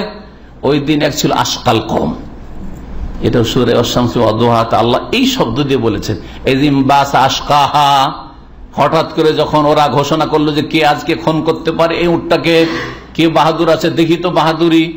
তখন আল্লাহ বলছেন তাদের কথা এদিন বাস আশকাহা, হঠাৎ করে তাদের সবচেয়ে বদ প্রকৃতির মানুষ, সবচেয়ে বদবাক্ত মানুষ যে ছিল, সে লাফিয়ে উঠল ইমবাসা লাফিয়ে উঠল, আমি আমি পারব। ফকাল আল্লাহম রসুল্লাহ না কাতাল্লাহ ওয়াসুকিয়াহা তখন আল্লাহ রসুল সোয়ালি আলী সাল্লাহ বলি, দেখো না কাতাল্লাহ ইত্তাকো না কাতাল আল্লাহর উস্ত্রী এটা ভয় করো, একটু ভয় করো, খবরদারি একে জবাই করিও না, তোমাদের সর্বনাশ হয়ে যাবে। ওয়াসুকিয়াহা আর এই উঠকে পানি পান করতে দাও একদিন একদিন তোমার ধরতে তাই একদিন পরই তো তোমরা পানি পাচ্ছ। না উঠকে কি করল? প্রথম পাকেটে দিল, পড়ে গেল, জবাই করে দিল। জাতিকে ধ্বংস করে দেওয়া হলো। তিন দিন খুব ভোগ করে নাও বাড়িতে তোমাদের। আল্লাহ বলছেন এমন এক ওয়াদা যেটা অসত্য নয়। হবে, তিন দিনে তোমরা ধ্বংস হবে। আল্লাহ ধ্বংস করে দিল এই জাতি। তো, এই ছিল এই উম্মতের সবচেয়ে বদ প্রকৃতির মানুষ ওকবাবিন আবি মঈদ লাফিয়ে উঠল। ফাল্লামা সাজাদা রসুল্লাহ রসুল্লাহ সিজদায় পড়লেন ওয়াদা হবে না কাঁধে কাঁধের উপর রেখে দিল। আর তো পারছেন না থেকে। লাগল হাসতে, এমন মালা মালা বাদ। এমন কি হাসতে হাসতে একজন অপরজন লুটিয়ে পড়ল। দেখেছেন বেশি হাসা লোকদেরকে গড়াগড়ি শুরু করে দেয়। একজন আর একজনের ওপর হ্যাঁ কি করতে থাকে? গোড় দিতে থাকে হ্যাঁ লোটালুটি করতে থাকে। এইরকম করতে শুরু করল। মিনাদ্দেহ কি হাসির চোটে ফান্তালাক মুন্তালিকুন ইলা ফাতেমা আলাইহাসসালাম বারদিয়াল্লাহু আনহা। দেশে কেউ তো সাহায্য করতে পারছে না। কিন্তু আর একটা প্রচলন ছিল যে নিজের আপনজন, নিজের আপন আত্মীয়কে যদি কেউ কষ্ট দেয়, তাহলে হেল্প করতে পারে।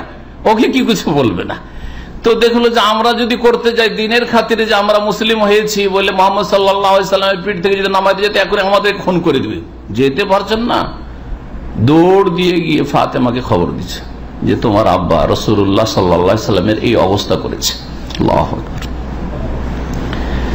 সেও খবর দেনেওয়ালি ছিল এক দাসী, ওয়াহিয়া জুয়াইরিয়াতুন দাসী, বালিকা। ফাঁকবালা তাসা দৌড় দিয়ে এসছে ফাতেমার কাছে। অবস্থায় পড়ে আছেন এরকম। আনহু। তারপরে ফাতেমা রাজি আল্লাহ তালা দৌড় দিয়ে আসলেন, আসার পরে নবী করিম সাল্লা ওপর থেকে সেটাকে সরিয়ে দিলেন, ওয়াকবালাত আলিম তসুব্বহম তারপরে ফাতেমা রাজি আল্লাহ তালা আবেগে যে আমার আব্বাকে এইরকম কষ্ট দিল আর এরকম অত্যাচার করছে, তাদের গাল মন্দ করতে লাগলেন। ফালাম্মা কাদা রসুল্লাহ সাল্লাহ আলী সাল্লাম সলাতা। রসুল্লাহ সাল্লাম নামাজ পুরা করলেন। এমন না যে নামাজ ছেড়ে দিলেন শেষ থেকে উঠলেন, ওঠার পরে বাকি যে নামাজ ছিল, বাকি অংশ নামাজে নামাজ পুরা করলেন। কালা তারপরে দোয়া করলেন বদুয়া আল্লাহ আলাই কাবি কোরাইশ। খুব সহজ দোয়া। আল্লাহ আলাই কে কোরাইশ। আল্লাহ তুমি কোরাইশকে ধরো। আলেক আমার ইলজাম। আল্লাহ ধরো কোরেশকে আল্লাহ পকড়াও করো কোরেশকে আল্লাহ ধ্বংস করো কোরেশকে আল্লাহ ধ্বংস করো কোরেশকে মানে কোরেশ কাফেরদেরকে। বিশ্বাস তো কোরেশ আবকর তো কোরেশ অমর তো কোরেশ কোরেশ কাফেরদেরকে কুফরি শক্তিকে। এইরকমই যখন আমরা দোয়া করব ইসরায়েলের ওপর, তখন এই নয় যে সেখানকার মুসলিম সেই বদুয়াতে আসবে। কারণ আমাদের নিয়তে আছে যে আল্লাহ তো মুসলিম মমিনদের হেফাজত করো, জালেমদেরকে ধ্বংস করো। এইরকমই যখন বার্মার বুদ্ধিস্ট জালেমদের জন্য ধ্বংসের দোয়া করব, বা বার্মাকে ধ্বংস করো, তখন এই নয় যে বার্মাকে ধ্বংস করো মানে সেখানকার মুসলিমদেরকে ধ্বংস করো, আর মুসলিমদের বাড়ি ঘর ধন সম্পদ ধ্বংস করো, কখনো সেটা আসবে না। বোঝা গেছে না? যেমন নবী করিম সাল্লামের দোয়াতে আসে নাই। অথচ করে সেটা অনেকে তখন ইসলাম গ্রহণ করেছিলেন। এইরকমই যারা সেখানকার বুদ্ধিস্ট অথবা অন্য জায়গার বুদ্ধিস্ট যদি নিরীহ হয়, আর এতে যদি তারা ন্যায়ের সাথে থাকে, আর এই জুলমের প্রতিবাদ তারা করে, আর তারা জুলম অত্যাচার চাই না, তো আশা করি আল্লাহ তাদেরকে রক্ষা করবেন। যদিও তাদের কুফুরের অপরাধ রয়েছে, কিন্তু জালেম যদি না হয়, তো আল্লাহ কাফেরকেও দুনিয়াতে ছাড় দিতে পারেন। কিন্তু জালেমকে ছাড়বেন না আল্লাহ রব্বুল আলমিন। ছাড় দিল, ছেড়ে দেবেন না আল্লাহ রব্বুল আলমিন। বাকি আখেরাতে কাফের যা হয় তাই হবে। নবী করিম সাল্লাম আল্লাহ আলাইকাবি কোরাইশ। আম ভাবে দোয়া, ব্যাপক। আল্লাহ আলাইকাবি কোরাইশ। তিনবার করে দোয়া করলেন। সোম্মা সম্মা। তারপরে এক একটা নাম নিয়ে ওই যে কাফের নেতারা যারা বসেছিল ওই মিটিং এ আর পরামর্শ করে একজনকে ছুটে যে কে পারবি এই কাজ করতে? এক এক নাম ধরে সাত জনের নাম ধরে নবী করিম সাল্লাহ আলী সাল্লাম বদ্ধ করেছিলেন। সাত জনই ধ্বংস হয়েছিল। প্রথম জিহাদ ফিসাবিল্লাহ যেই জিহাদ ফিসাবিল্লাহ রসুল্লাহ সাহাবাই কেরামদেরকে নিয়ে করেছেন। ইসলামের ইতিহাসে প্রথম জেহাদ কি? বদর। জি। গত মঙ্গলবার, আজকে বৃহস্পতিবার, গত দুই দিন আগে বদরে ছিলাম। আমি মদিনায় গেলে বদরে বক্তব্য করতে খুব আগ্রহী হয়। কারণ নবী করিম ইসলামের জিহাদ শুরু হয়েছে এই বদর থেকে। আল্লাহ আলাই কবি আমরিবিনে হেসাম হে আল্লাহ, তুমি আমরিবিনে হেসামকে ধ্বংস করো। আমরিবিনে হেসাম হচ্ছে আবু জাহেল। আবু জাহেলের নাম ছিল আমর। এই জন্য আল্লাহর কাছে দোয়া করেছিলেন। নবী সালাম দেখলেন যে মক্কায় দুটো লোক হচ্ছে জাদরেল। এক হচ্ছে ওমর ইবিনে খাত্তাব ওমার আর এক হচ্ছে আমরিবিনে হেসাম মানে আবু জাহাল। আবু জাহাল। তো দোয়া করছে হে আল্লাহ আল্লাহ আইয়েদের ইসলাম আহাদিল হে আল্লাহ, দুই এক দিয়ে ইসলামকে শক্তিশালী করো। এখন তুমি কোন ওমারকে হেদায়ত করবে আল্লাহ? তুমি ভালো জানো। এক ওমার আমাকে দাও। নবী করিম কাছে দোয়া করছে আল্লাহ এক দিয়ে ইসলামকে শক্তিশালী করো। এক তুমি হেদায়ত করো। একজনের নাম আমর, আরেকজনের নাম হচ্ছে ওমার। আল্লাহ অন্তর দেখলেন যে দুই উমারের মানে আবু জাহাল আর এই উম্মার, দুটোই হচ্ছে জবরদস্ত মক্কার। দুইজনের একজন হেদায়ত হলে বাকি কুফুরি শক্তি অনেকটাই ঠান্ডা হয়ে যাবে। দুইজনের কার অন্তর আছে? কার অন্তরে ইমান কবুলের যোগ্যতা আছে? কার অন্তর হেদায়তের হকদার? আল্লাহ ভালো জানেন, তাই উমার রাজি আল্লাহ তালানোকে হেদায়ত নসিব করলেন। আল্লাহ, তুমি ধ্বংস করো এই আবু জাহাল আমর বিন হেসামকে পকড়াও করো তাকে। রাবিয়া, রাবিয়ার ছেলে অতবাকি ও সাইবা ছেলে এই দুই ভাই এত শক্তিশালী যোদ্ধা ছিল। প্রথম মাঠে নেমেছিল। আর সাইবা বিন রাবিয়া আর সাইবা বিন দুই ভাই নেমেছিল। আর বিন আর ওতবার আরেক ছেলে হ্যাঁ মানে ভাতিজা। একজনের ছেলে আর একজন ভাতিজা। এই চাচা তিন চাচা ভাতিজা। এই তিনজন নেমেছিল, তিনজন প্রখ্যাত সাহাবির মোকাবেলা করার জন্য। আল্লাহ রবুল আলমিন এই তিনজনের হত্যার মাধ্যমে এদেরকে ঠান্ডা করে দিয়েছেন। তারপরে আর টিকার তেমন সাহস হয়নি রণক্ষেত্রে বদরের প্রান্তে। ওদবা আল্লাহ তুমি ধ্বংস করো। ওদবার ছেলে ওয়ালিদকে, যে নাম এসছে, এরও নাম এসছে। ওমাই ইবনে খালাফ, খালাফের ছেলে ওমাইয়াকে। ও ওকবা ইবনে আবি মহিত আবু মহিতের ছেলে ওকবাকে এই যে ওটের ভুড়ি চাপিয়েছিল হবিস আশকা। ও ওমার আতবাল ওয়ালিদ, আর ওয়ালিদের ছেলে ওমার আখি কয়জন নাম হইল? সাতজন হয়েছে, দেখবেন। আমর বিন হেসা আবু জাহাল ওদবা বিন রাবিয়া সাইবা বিন রাবিয়া, ওয়ালিদ বিন ওদবা ওমাই বিন খালফ আর ওকবাবিন আবি মঈদ, আর ওমার ইবনুল ওলিদ কাল আবদুল্লাহ আব্দুল মসুদ রাজি আল্লাহ তারা বলছেন, ফাওয়াল্লাহ, আল্লাহর কসম করে বলছি বাদরিন, বদরের যুদ্ধের দিনে তাদেরকে সবকে উপুড় হয়ে পড়ে দেখেছিলাম মরে খুন হয়ে পড়ে আছে জেহাদের ময়দানে এই কাফের সাতজন। যাদেরকে নাম ধরে ধরে বদ্ধ দিয়েছেন কে? হ্যাঁ যার দোয়া কবুল আপনিও তার সাথে দোয়া হতে পারে যে আপনার দোয়া কবুল হয়ে যাবে। হতে পারে একজন বোনের দোয়া কবুল হয়ে যাবে। হতে পারে একজন মায়ের দোয়া কবুল হয়ে যাবে। কেউ নিজেকে তুচ্ছ মনে করবেন না। নিজের জন্য দোয়া করা, নিজের ছেলে মেয়ের দোয়ার চাইতে বেশি এখলাস আছে অন্য কোন মমিন মুসলিম ভাই বোনদের জন্য দোয়াতে না নেই? যখন আপনি আপনি অসুস্থ, নিজের জন্য দোয়া করছেন, আপনার গরজ আছে, আমি সুস্থ হব সুস্থ হব। আপনার স্ত্রী অসুস্থ দোয়া করছেন বা একবারে কঠিন অবস্থায় জুলমের শিকার, যদি আপনার স্ত্রী হতো, আপনার মা বোন যদি সেই বারমার বোনেরা হইতো কেমন ভাবে আপনার দোয়াটা বেরোতো বলুন তো দেখি। কারণ আপনার গরজ আছে, আমার মা রক্ষা পাক, আমার বোন রক্ষা পাক, আমার ভাই বেরাদর রক্ষা পাক হ্যাঁ? আমার শাশুড়ি রক্ষা পাক আছে না নেই? অনেকের আত্মীয় স্বজন আছে। কক্সবাজার এলাকার সাথে আত্মীয়তা হয়তো আছে, থাকতে পারে। আবার নাও থাকতে পারে। তো নিজের আত্মীয় স্বজনের জন্য মানুষ যখন দোয়া করে, তখন তাকে একটা পার্থিব গরজ আছে। আছে কি নেই? অবশ্যই আছে। কি গরজ? যে আমার স্ত্রীটা সুস্থ হলে আমার কাজে আসবে। হ্যাঁ আমার ধন সম্পদের হেফাজত, তাহলে আমার কাজে আসবে। আমার ছেলেটা যদি সুস্থ হয়ে বড় হয়, তাহলে কাজে আসবে। হ্যাঁ আমার বাপ মা যদি সুস্থ থাকে, তাহলে কাজে আসবে। আমি বাপ মা পেলাম, বাপ মা হারাইলাম না। ইত্যাদি ইত্যাদি। কিন্তু যখন যাদের সাথে দুনিয়ার কোন রক্তের আত্মীয়তা নেই, ধন সম্পদের কোনো স্বার্থ নেই, মমিন ভাই বোনদের জন্য দোয়া করছেন ইমান ইসলামের খাতিরে। বারমার মুসলিম ভাই বোনদের জন্য দোয়া করছেন, ফিলিস্তিনি মুসলিম ভাই বোনদের জন্য দোয়া করছেন। তখন তাদের দুনিয়ার গরজ আছে যে তাদের কাছে কিছু পাবো। হ্যাঁ তারা কোনো কাজে আসবে আমার দুনিয়াতে? না না, একেবারে লিল্লাহিয়াত আছে এই দোয়াতে। সুতরাং ওই দোয়া আরও তাড়াতাড়ি কবুল হবে। আরও তাড়াতাড়ি কবুল হবে। সুতরাং এই দোয়া হলুসিয়াতের সাথে করার চেষ্টা করবেন। আল্লাহ যেন তৌফিক দান করেন। আল্লাহর কসম করে বলছি, আমি দেখেছিলাম আবদুল্লাহ বিন মাসুদ বদরের জেহাদে ছিলেন। তিনি বলছেন যে, বদরের দিনে সবগুলি উবুড় হয়ে পড়ে আছে মরে। সুম্মা সহিবু এলাল কালিবে কালিবে বদরিন। তারপরে তাদেরকে টেনে হেসড়ে পা ধরে, হাত ধরে টেনে হেসড়ে নিয়ে গিয়ে যে কূপটি ছিল বদরে বদরে একটা কূপ ছিল হ্যাঁ? ওই কূপটায় বদর বলা হয়তো তারপরে ওখানে তখন জনবস্তি হয়েছে, ওই জায়গার নাম বদর পড়েছে। এই বদরের সেই কূপে নিয়ে গিয়ে টেনে হিসেবে ফেলে দাও কালিব বলা হয় এমন কূপে যেই কূপে প্রাচীর নেই মানে মাটি বরাবর, মাটি সমতল। মাটি গর্ত করা আছে, কিন্তু তার যেটা ওপরে প্রাচীর থাকে ওটা ঘেরা নেই। বেড়াটা বা ঘেরা নেই। সেই কূপে ফেলে দেওয়া হইল। সুম্মা কালা রসুল্লাহ সাল্লাহ তারপরে রসুল বললেন আসাবুল কালিবে এই কূপে যে সত্তর জন কাফেরকে নিক্ষেপ করা হয়েছে, তাদের ওপর লানত চাপিয়ে দেওয়া হয়েছে। আল্লাহর রহমত থেকে বঞ্চিত করার ঘোষণা চাপিয়ে দেওয়া হয়েছে। তাদের ওপর অভিশাপ চাপিয়ে দেওয়া হয়েছে। সহি বখারি দুইশো তেত্রিশ নম্বর হাদিস, সহি মুসলিমের হাদিস বখারিতে কয়েক জায়গায় হাদিসটি রয়েছে, সহি মুসলিমের তিন হাজার তিনশো পঞ্চাশ নম্বর হাদিস। এই হাদিস থেকে কি জানলেন? ছোট্ট দোয়া কর আল্লাহ আলাইকা বেহুকুমতে বর্মা। আল্লাহ তুমি বর্মার শাসককে ধ্বংস করো।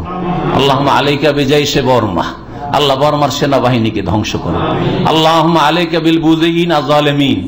আল্লাহ, জালেম বুধিশদেরকে ধ্বংস করো। আল্লাহ বর্মার জালেমদেরকে ধ্বংস করো। আল্লাহ আদাদা ওয়াক্তুল হুম বাদাদা ওলা মিনহুম আহাদা। যে দোয়াগুলি হাদিসে নবী করিম সাল্লাম থেকে কোনোতে নাজেলার ক্ষেত্রে বর্ণিত হয়েছে, আর সেই হাদিসগুলিকে আজকালকার কোনোতে নাজেলাতে পড়া হয় তবে অনেকগুলিতে কিছু সংযোজন করে থাকে আজকালকার এমামরা হাদিসে যে শব্দগুলি আছে, সেই শব্দগুলি আপনাদেরকে শোনায় অল্প কিছুক্ষণ আর দুটি হাদিস আমাদের সামনে রয়েছে। ওবায়দিন রেফা বর্ণনা করছেন তার পিতা থেকে। ওবায়দিন রেফা জোরাকি।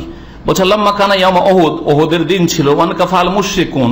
আর মুশ্রিকরা হেরে গিয়ে প্রথম তো পালাতে শুরু করেছিল। কালা রাসুল্লাহ ইস্তাউ হাত্তা উসনি আলা উসনি আলা রব্বি। তোমরা সোজা হয়ে সারিবদ্ধ হও। আল্লাহর প্রশংসা করি। মানে জিতে গেছি। জিতে যাওয়া অবস্থা কি হলো? হঠাৎ করে হারে রূপান্তরিত হয়ে গেল। শুধু একটি গুনহার কারণে, একটি ভুলের কারণে, একটি নবী সাল্লা সাল্লামের কথার নাফারমানির কারণে। সেটা কি? এমন কোন বড় অপরাধ ছিল না? যেমন আজকালকার সেনাবাহিনী, অনেকে মদখোর হ্যাঁ অনেকে চরিত্রহীন হ্যাঁ নারী ছাড়া এদের জেনা ব্যবচার ছাড়া চল না। এইরকম নয়। কি? সামান্য বিষয়, আজকালকার জামানা হলে সামান্য বিষয়। রসুল্লাহ বলেছিলেন, এই যে জাবালের রোমাত এখানে পঞ্চাশ জনকে নিযুক্ত করলাম, তোমাদের আমির আবদুল্লাহ বিন জুবাইরকে করলাম, তোমরা, আমরা হারি আর জিতি নিচে, এমনকি যদি আমাদেরকে সবকে মেরেও ফেলা হয় আর পাখিতে নিচে নিচে খাচ্ছে আমাদের লাশকে তারপরেও তোমরা ইব্রাহিম রহম কানকুম তোমাদের জায়গা ছাড়বে না। তোমাদের জায়গা ছাড়বে না। কিন্তু যখন দেখল যে, আরে কাফেরা তো অনেক দূরে পালিয়ে গেছে, আর আমরা তো জিতেই গেছি, আর এখানে দাঁড়িয়ে থেকে আর বসে থেকে লাভটাই কি? নামি অধিকাংশ লোক হ্যাঁ বিরোধিতা করে নেমে গেল। যিনি আমির ছিলেন, বলছেন, না, নবী কথা আমি ফেলব না, আমি নামবো না। তার সাথে যে কয়েকজন ছিলেন মাত্র তারা সকলে পরে শহীদ হয়ে গেলেন। কারণ পিছন থেকে খালিদিন অলি তখন পুফুরি অবস্থায় ছিল, দেখল যে খালি জায়গা খালি আছে, একবার রাউন্ড দিয়ে এসে পিছন থেকে হামলা করে দিল। আর এইদিকে নবী সাহাবাহাম এগিয়ে গেছেন, পিছনের খেয়াল নেই, পিছনে আর কাফের আছে কোথায়? কারণ জানছে সামনে পালিয়ে গেছে ওরা, কিন্তু অন্য দিক থেকে পিছন দিক থেকে যে ঘেরাও করে নিয়েছে, সামনে ও কাফের, এখন পিছনে ও কাফের, যাবে কোন আর পিছন থেকে হঠাৎ করে অতর্কিত হামলা হলে মানুষ দিশে হারা হয়ে যায়, হতমম হয়ে যায় যে হচ্ছেটা কি আপনার সামনের দিক থেকে মারতে আসে, যদি তাহলে প্রতিরক্ষার জন্য প্রস্তুত হয়ে যাবেন চট করে। কিন্তু পিছন থেকে হঠাৎ করে কেউ যদি একটু সামান্য দাঁত লাগে তো আছাড় খেয়ে পড়ে যাবে, হোচট খেয়ে পড়ে যাবে। পড়বেন না পড়বেন না? জি। কারণ আপনার খেয়াল নাই যে পিছনে কি হচ্ছে না হচ্ছে।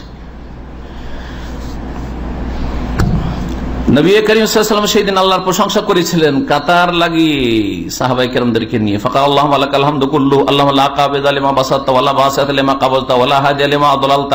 ولا مضل لمن هديت ولا موت لما منعت ولا مانع لما أعطيت ولا مقرب لما بعد ولا مباعد لما قربت. اللهم ابسط علينا من بركاتك ورحمتك وفضلك ورزقك. اللهم إني أسألك النعيم المقيم الذي لا يهول ولا يزول. اللهم إني أسألك النعيم يوم العيلة والأمن يوم الخوف. اللهم أعيذ بك من شر ما أعطيتنا وشر ما منعت. اللهم حبب إلينا الإيمان وزينه في قلوبنا وكره إلينا الكفر والفسوق والإسيان واجعلنا من الراشدين. اللهم توفنا مسلمين واحينا مسلمين والحقنا بالصالحين غير خزايا ولا مفتونين اللهم قاتل الكفرة الذين يكذبون رسلك ويصدون عن سبيلك واجعل عليهم رجزك وعذابك اللهم قاتل الكفرة الذين اوتوا الكتاب اله الحق এই লম্বা দোয়া লম্বা দোয়া যদি সবগুলি তর্জমা করি তো লম্বা সময় লেগে যাবে সেই জন্য কিছু দোয়া আল্লাহ রব্বনা প্রশংসাই করলেন, তারপরে নিজেদের জন্য করলেন, মমিনদের জন্য করলেন। নিজের কল্যাণে যা দোয়া করার পরে কাফেরদের জন্য বদুয়ার অংশটুকু যে শেষখানে রয়েছে, কারণ কোনোতে না জালে আজকে শুনেতে চাইছি, কাফেরদের জন্য বদুয়া করেন এই কথা বলতে চাইছি। বিশেষ করে জালেম কাফেরদের ওপর বদুয়া করেন, সুতরাং ওই অংশটুকু তর্জমা করছি। বলছেন রসুল্লাহ সাল্লাম এই সময় আল্লাহ কাতেল কাফারা হে আল্লাহ, কাফেরদেরকে তুমি হত্যা করো। কাফেরদের বিরুদ্ধে তুমি লড়াই করো। আমরা লড়াই করতে পারছি না, আল্লাহ। হ্যাঁ? আমাদের ক্ষমতা নেই। আজ নবী সাল্লাম তো সাহাবাই কেরামদেরকে নিয়ে বেরিয়েছেন। আজকে বলারও ক্ষমতা নেই। হ্যাঁ? বললে আপনাকে সন্ত্রাসী বলে দিবে। বোঝা গেছে? বললেই। আর যাদের ওপর ফরজ, তাদের তো ভুরুক্ষেপই নেই। তো কথা হচ্ছে যে এই জন্য আল্লাহ কাতেলিল কাফারা। হে আল্লাহ, কাফেরদেরকে তুমি হত্যা করো। কাফেরদের বিরুদ্ধে তুমি লড়াই করো। আর আল্লাহর যদি লড়াই হয়, আল্লাহর পক্ষ থেকে যদি যুদ্ধের ঘোষণা হয়, আল্লাহ যদি হত্যা করেন, তো কোনো উপায় আছে? কোন উপায় আছে কুফরি শক্তির? কোন? ধ্বংস হয়ে যা ধ্বংস হয়ে যা ভাইয়া কোন রব্বুল আলমের কাছে দোয়া করি আল্লাহ কাতিল কাফারা। হে আল্লাহ, কাফেরদেরকে তুমি হত্যা করো। যারা তোমার রসুলগণকে মিথ্যা মনে করে, রসুলগণকে অমান্য করে, অস্বীকার করে। তোমার রাস্তায় চলতে বাধা সৃষ্টি করে। কেউ যদি ইসলাম কবুল করে, তাকে পেরেশান করে হ্যাঁ তার শত্রুতা করে, তাকে মারার চেষ্টা করে, তার ক্ষয়ক্ষতির চেষ্টা করে, তোমার রাস্তায় বাধা সৃষ্টি করে। সুদ্দুনা সাবিলে। তাহলে বোঝা গেল নিরীহ কাফের। স্বাধীনভাবে যার যেটা ইসলাম পছন্দ হচ্ছে ধর্ম পালন করুক। সুতরাং যদি কোন কাফের অমুসলিম ইসলাম গ্রহণ করে, না, ঠিক আছে, তার চয়েস সে ইসলাম গ্রহণ করেছে, আমাদের বলার কি আছে? তাহলে তাদের জন্য বদ্ধ না। নিজেও কুফরিতে অটল, অনড়। আর অন্যদেরকেও কুফরিতে শক্ত করে রাখতে চায় ইমান ইসলামের দিকে আসতে দিতে চাই না, জান্নাতের দিকে আসতে দিতে চাই না, জাহান্নাম থেকে বাঁচতে চায়, জাহান্নাম থেকে বাঁচতে চায়, নিজেও আগুনে জ্বলবে জাহান্নামে, আর অন্যদেরকেও জ্বালাতে চাই আল্লাহ, তুমি তাদেরকে ধ্বংস করো। আজাবাক হে আল্লাহ, তোমার আজাব এবং শাস্তি তাদের ওপর তুমি চাপিয়ে দাও।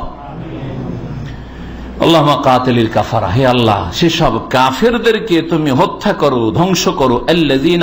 কিতাব, যাদেরকে কিতাবের জ্ঞান দেওয়া হয়েছে, বুঝে। আল্লাহর কথা বুঝে, তারপরেও। বুদ্ধিস্টদেরকে ধ্বংস করো। তাদের যে মহামানব বৌদ্ধদেব যার ধর্মের মূলনীতি হচ্ছে কি? হ্যাঁ? জীব হত্যা মহাপাপ। জীব হত্যা মহাপাপ। জীব হত্যা করলে মহাপাপ হয়, তাহলে সাপ হত্যা করলে মহাপাপ হয়, বিচ্ছু হত্যা করলে মহাপাপ হয়, কুকুর শ্রীগাল হত্যা করলে মহাপাপ হয় হ্যাঁ? বিড়াল হত্যা করলে মহাপাপ হয় যে কোনো কীট, পতঙ্গ, এমনকি মাছ হত্যা করলে একটা মাছ মারলে মাছ শিকার করলে মহাপাপ হয়। আর সেই বুদ্ধিস্ট কাফের জাতি, তাদের যে আদর্শ তাকেও মানে না, আল্লাহকেও মানে না, আল্লাহ রসুল গণকেও মানে না তাদের যে আদর্শ পদ্ধতি তাকেও মানে না মুসলিমদের ক্ষেত্রে। আল্লাহ তাদেরকে তুমি ধ্বংস করো, তাদেরকে নিশ্চিন্ন করো। এলাহাল হক, হে সত্য মাবুদ। আবার দোয়া করি আল্লাহ ধ্বংস করো। তাদের হুকুমতকে তাদের তাদের সেনাবাহিনী জয় তাদের ওয়া আর তোমার বন্ধুদেরকে, মুমিন মুমিনাতদেরকে খুন করছে, নারীদেরকে খুন করছে, নারীদের ইজ্জত হরণ করছে, শিশুদেরকে খুন করছে, তাদেরকে বিভিন্নভাবে মারছে। আল্লাহ তাদেরকে তুমি ধ্বংস করো, তাদের সর্বনাশ করো। হাদিস, সবগুলি হাদিসের কথা বলছি। মুসনাদ আহমদের রয়েছে। চোদ্দ হাজার নয়শো পঁয়তাল্লিশ নম্বর হাদিস। নাসাই কুবরাতে রয়েছে। দশ হাজার চারশো পঁয়তাল্লিশ নম্বর হাদিস। আর আল আদাবুল মুফরাদের যে সাহিহুল আদাবুল মুফরাদ রয়েছে আল্লাহ আলমানি রাহেমাউল্লাহ আর আল আদাবুল মুফরাদ কিতাবটি মূলত ইমাম বুখারি রাহেমাহুল্লাহ। সেই কিতাবের পাঁচশো চল্লিশ নম্বর হাদিস বা ছশো সাতানব্বই নম্বর হাদিস। হাদিসটি সহি। এই দোয়াও সহি। আর একটি দোয়া বলে শেষ করব। সেটি ওবায়দিন ওমায়ের বর্ণনা করছেন যে উমার রাজি আল্লাহ তালান কি করতেন? রুকুর পরে কুনুত করতেন। উমার রাজি আল্লাহ তালান কুনুত মৌকুফ কুনুত।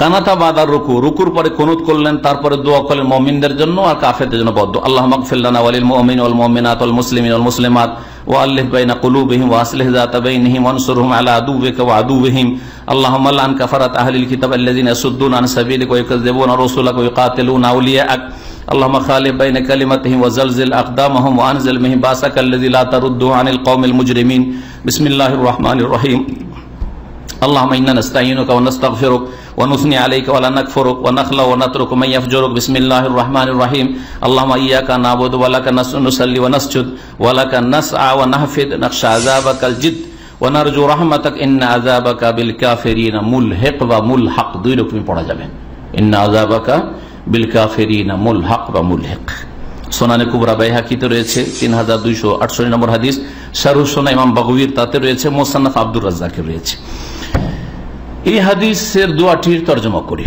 কারণ এই দোয়াটি অধিকাংশ কোন তো নাজেলতে হ্যাঁ কেউ কেউ তাতে কিছু মিশিয়ে, বাড়িয়ে অথবা এই যদি এবার হুবহু যেমন হাদিস আছে, এভাবে দোয়া করে আশা করি যথেষ্ট।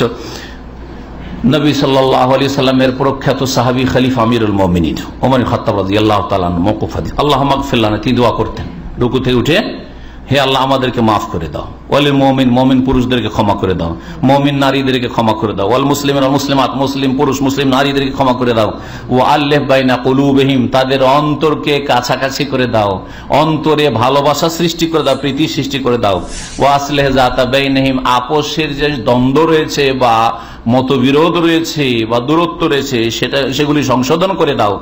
অনসর হোম আলা আদু আদু ওহিম এবং মমিন মুসলিমদেরকে তোমার শত্রু আর তাদের শত্রুর উপর সাহায্য করো। দোয়া করেন আল্লাহ, বার্মার, আরাকানের মুসলিম রোহিঙ্গা ভাই বোনদেরকে সাহায্য করো, তাদের দুশ্মন আর তোমার দুশ্মনের ওপর। হে আল্লাহ, তোমার দুশ্মনে জালেমরা এবং তাদের দুশ্মন জালেমরা, তাদের ওপর তুমি সাহায্য করো আরাকানের মুসলিম ভাই বোনদের কাফারাত আহলিল কিতাব, হে আল্লাহ, তুমি আহলি কিতাবদের কাফেরদের উপর তুমি লানত, অভিসম্পদ করো। যারা তোমার রাস্তায় বাধা সৃষ্টি করে। ওয়ুকাজেবনা রসুল আগা তোমার রসুলগণ কে মিথ্যা মনে করে। ওই আউলিয়াকা তোমার বন্ধু মোমেন মোমেনাতকে খুন করে, হত্যা করে। তাদের বিরুদ্ধে লড়াই করে। আল্লাহ কালেমাতিহিম এবং তাদের মাঝে তুমি বিরোধ সৃষ্টি করে দাও। আল্লাহ সেখানকার সেনাবাহিনী আর সেখানকার শাসক গোষ্ঠীর মাঝে লড়াই সৃষ্টি করে দাও, আর বিরোধ সৃষ্টি করে দাও, দ্বন্দ্ব সৃষ্টি করে দাও। সেখানকার জনগণকে সেখানকার শাসকের বিরুদ্ধে লড়িয়ে দাও এবং তাদেরকে তুমি পিষে দাও। ওয়াজালজিল আকদামাহম, তাদের পায়ের নিচে তুমি ভূমিকম্প সৃষ্টি করো এবং তাদেরকে তুমি তাদের জমিনকে ধ্বংস করো। ও আনজেল আনিল কমিল মুজরিমিন। এবং তাদের ওপর তুমি তোমার সেই আজাব শাস্তিকে নামিয়ে দাও যেটা অপরাধী জাতি থেকে সরানো হয় না। এমন শাস্তি দাও দাও যেই শাস্তি অপরাধীদের থেকে সরানো হয় না বিসমিল্লাহ রহমান, আল্লাহ আল্লাহ তোমার কাছে সাহায্য কামনা করি। ওয়ানাস্তাক ফেরোকা তোমার কাছে ক্ষমা চাই। অনুসনি আলাইকা, এবং তোমারই প্রশংসা গুণগান করি। ওয়ালা নাক ফেরোকা তোমার কুফরি করি না। ওয়ানাখলা ওয়ানাতুরকা যে তোমাকে মানে না, অমান্য করে বা তোমার বিরুদ্ধাচরণ করে, তাকে ছেড়ে দিচ্ছি এবং তাকে পরিত্যাগ করছি। বিসমিল্লাহ রহমান রাহিম। শুরু করি সেই আল্লাহর নামে, যে আল্লাহ রব্বুল আলমিন, পরম দয়ালু এবং দয়াবান। আল্লাহ ইবাদত করি। করি কানাস তোমার দিকে আমরা তোমার আমরা অগ্রগামী। নকশা আজাব তোমার শক্ত আজাবকে আমরা ভয় করি। ওনারজুর রহমত, তোমার রহমতের আশাবাদী। ইন্না আজাব কাবিল কাফিরিনা নিশ্চয়ই তোমার আজাব কাফেরদের ওপরই আপতিত হয়। আল্লাহ কাফেরদেরকে তোমার আজাব দিয়ে ধ্বংস করো বৌদিস জালেমদেরকে তোমার আজাব দিয়ে ধ্বংস করো বারমার মমেন মুসলিমদেরকে তুমি সাহায্য করো। তাদের তুমি হেফাজত করো। তাদের খাদ্যের ব্যবস্থা করো। তাদের বস্ত্রের ব্যবস্থা করো। তাদের বালা মুসিবত দূর করো। তাদেরকে সান্ত্বনা দান করো। তাদেরকে দিনের দিকে ফিরে আসার তৌফিক দান করো। তাদের বেনামাজিদেরকে নামাজি হওয়ার তৌফিক দাও। তাদের সিরকি আকিদা, বিদাতি, আকিদা যারা ধারণ করে আছে, তাদেরকে সন্ন্যত তৌহিদের অনুসারী হওয়ার তৌফিক দান করো। তাদের অসৎ লোক হারাম যারা খায় তাদেরকে সৎ হওয়ার তফিক দান করো এবং আমাদের পাপের কারণে তাদেরকে ধ্বংস করিও না এবং তাদের পাপের কারণে অন্যদেরকে ধ্বংস করিও না আল্লাহ রব্বুল আলম মুসলিমদেরকে তোমার দিনের দিকে ফিরে আসার তৌফিক দান করো তোমার রহমতের দিকে ফিরে আসার তৌফিক দান করো তোমার ইবাদতের দিকে ফিরে আসার তৌফিক দান করো তোমার মসজিদের দিকে ফিরে আসার তৌফিক দান করো আল্লাহ মাইন্না আল্লাহ জিকে রেখে অসুখ রেখে অহসন ইবাদতিক ربنا اغفر لنا ولإخواننا الذين سبقونا بالإيمان ولا تجعل في قلوبنا غلا للذين آمنوا ربنا إنك رؤوف رحيم وصلى صلى الله وسلم على نبينا محمد وعلى آله وصحبه أجمعين.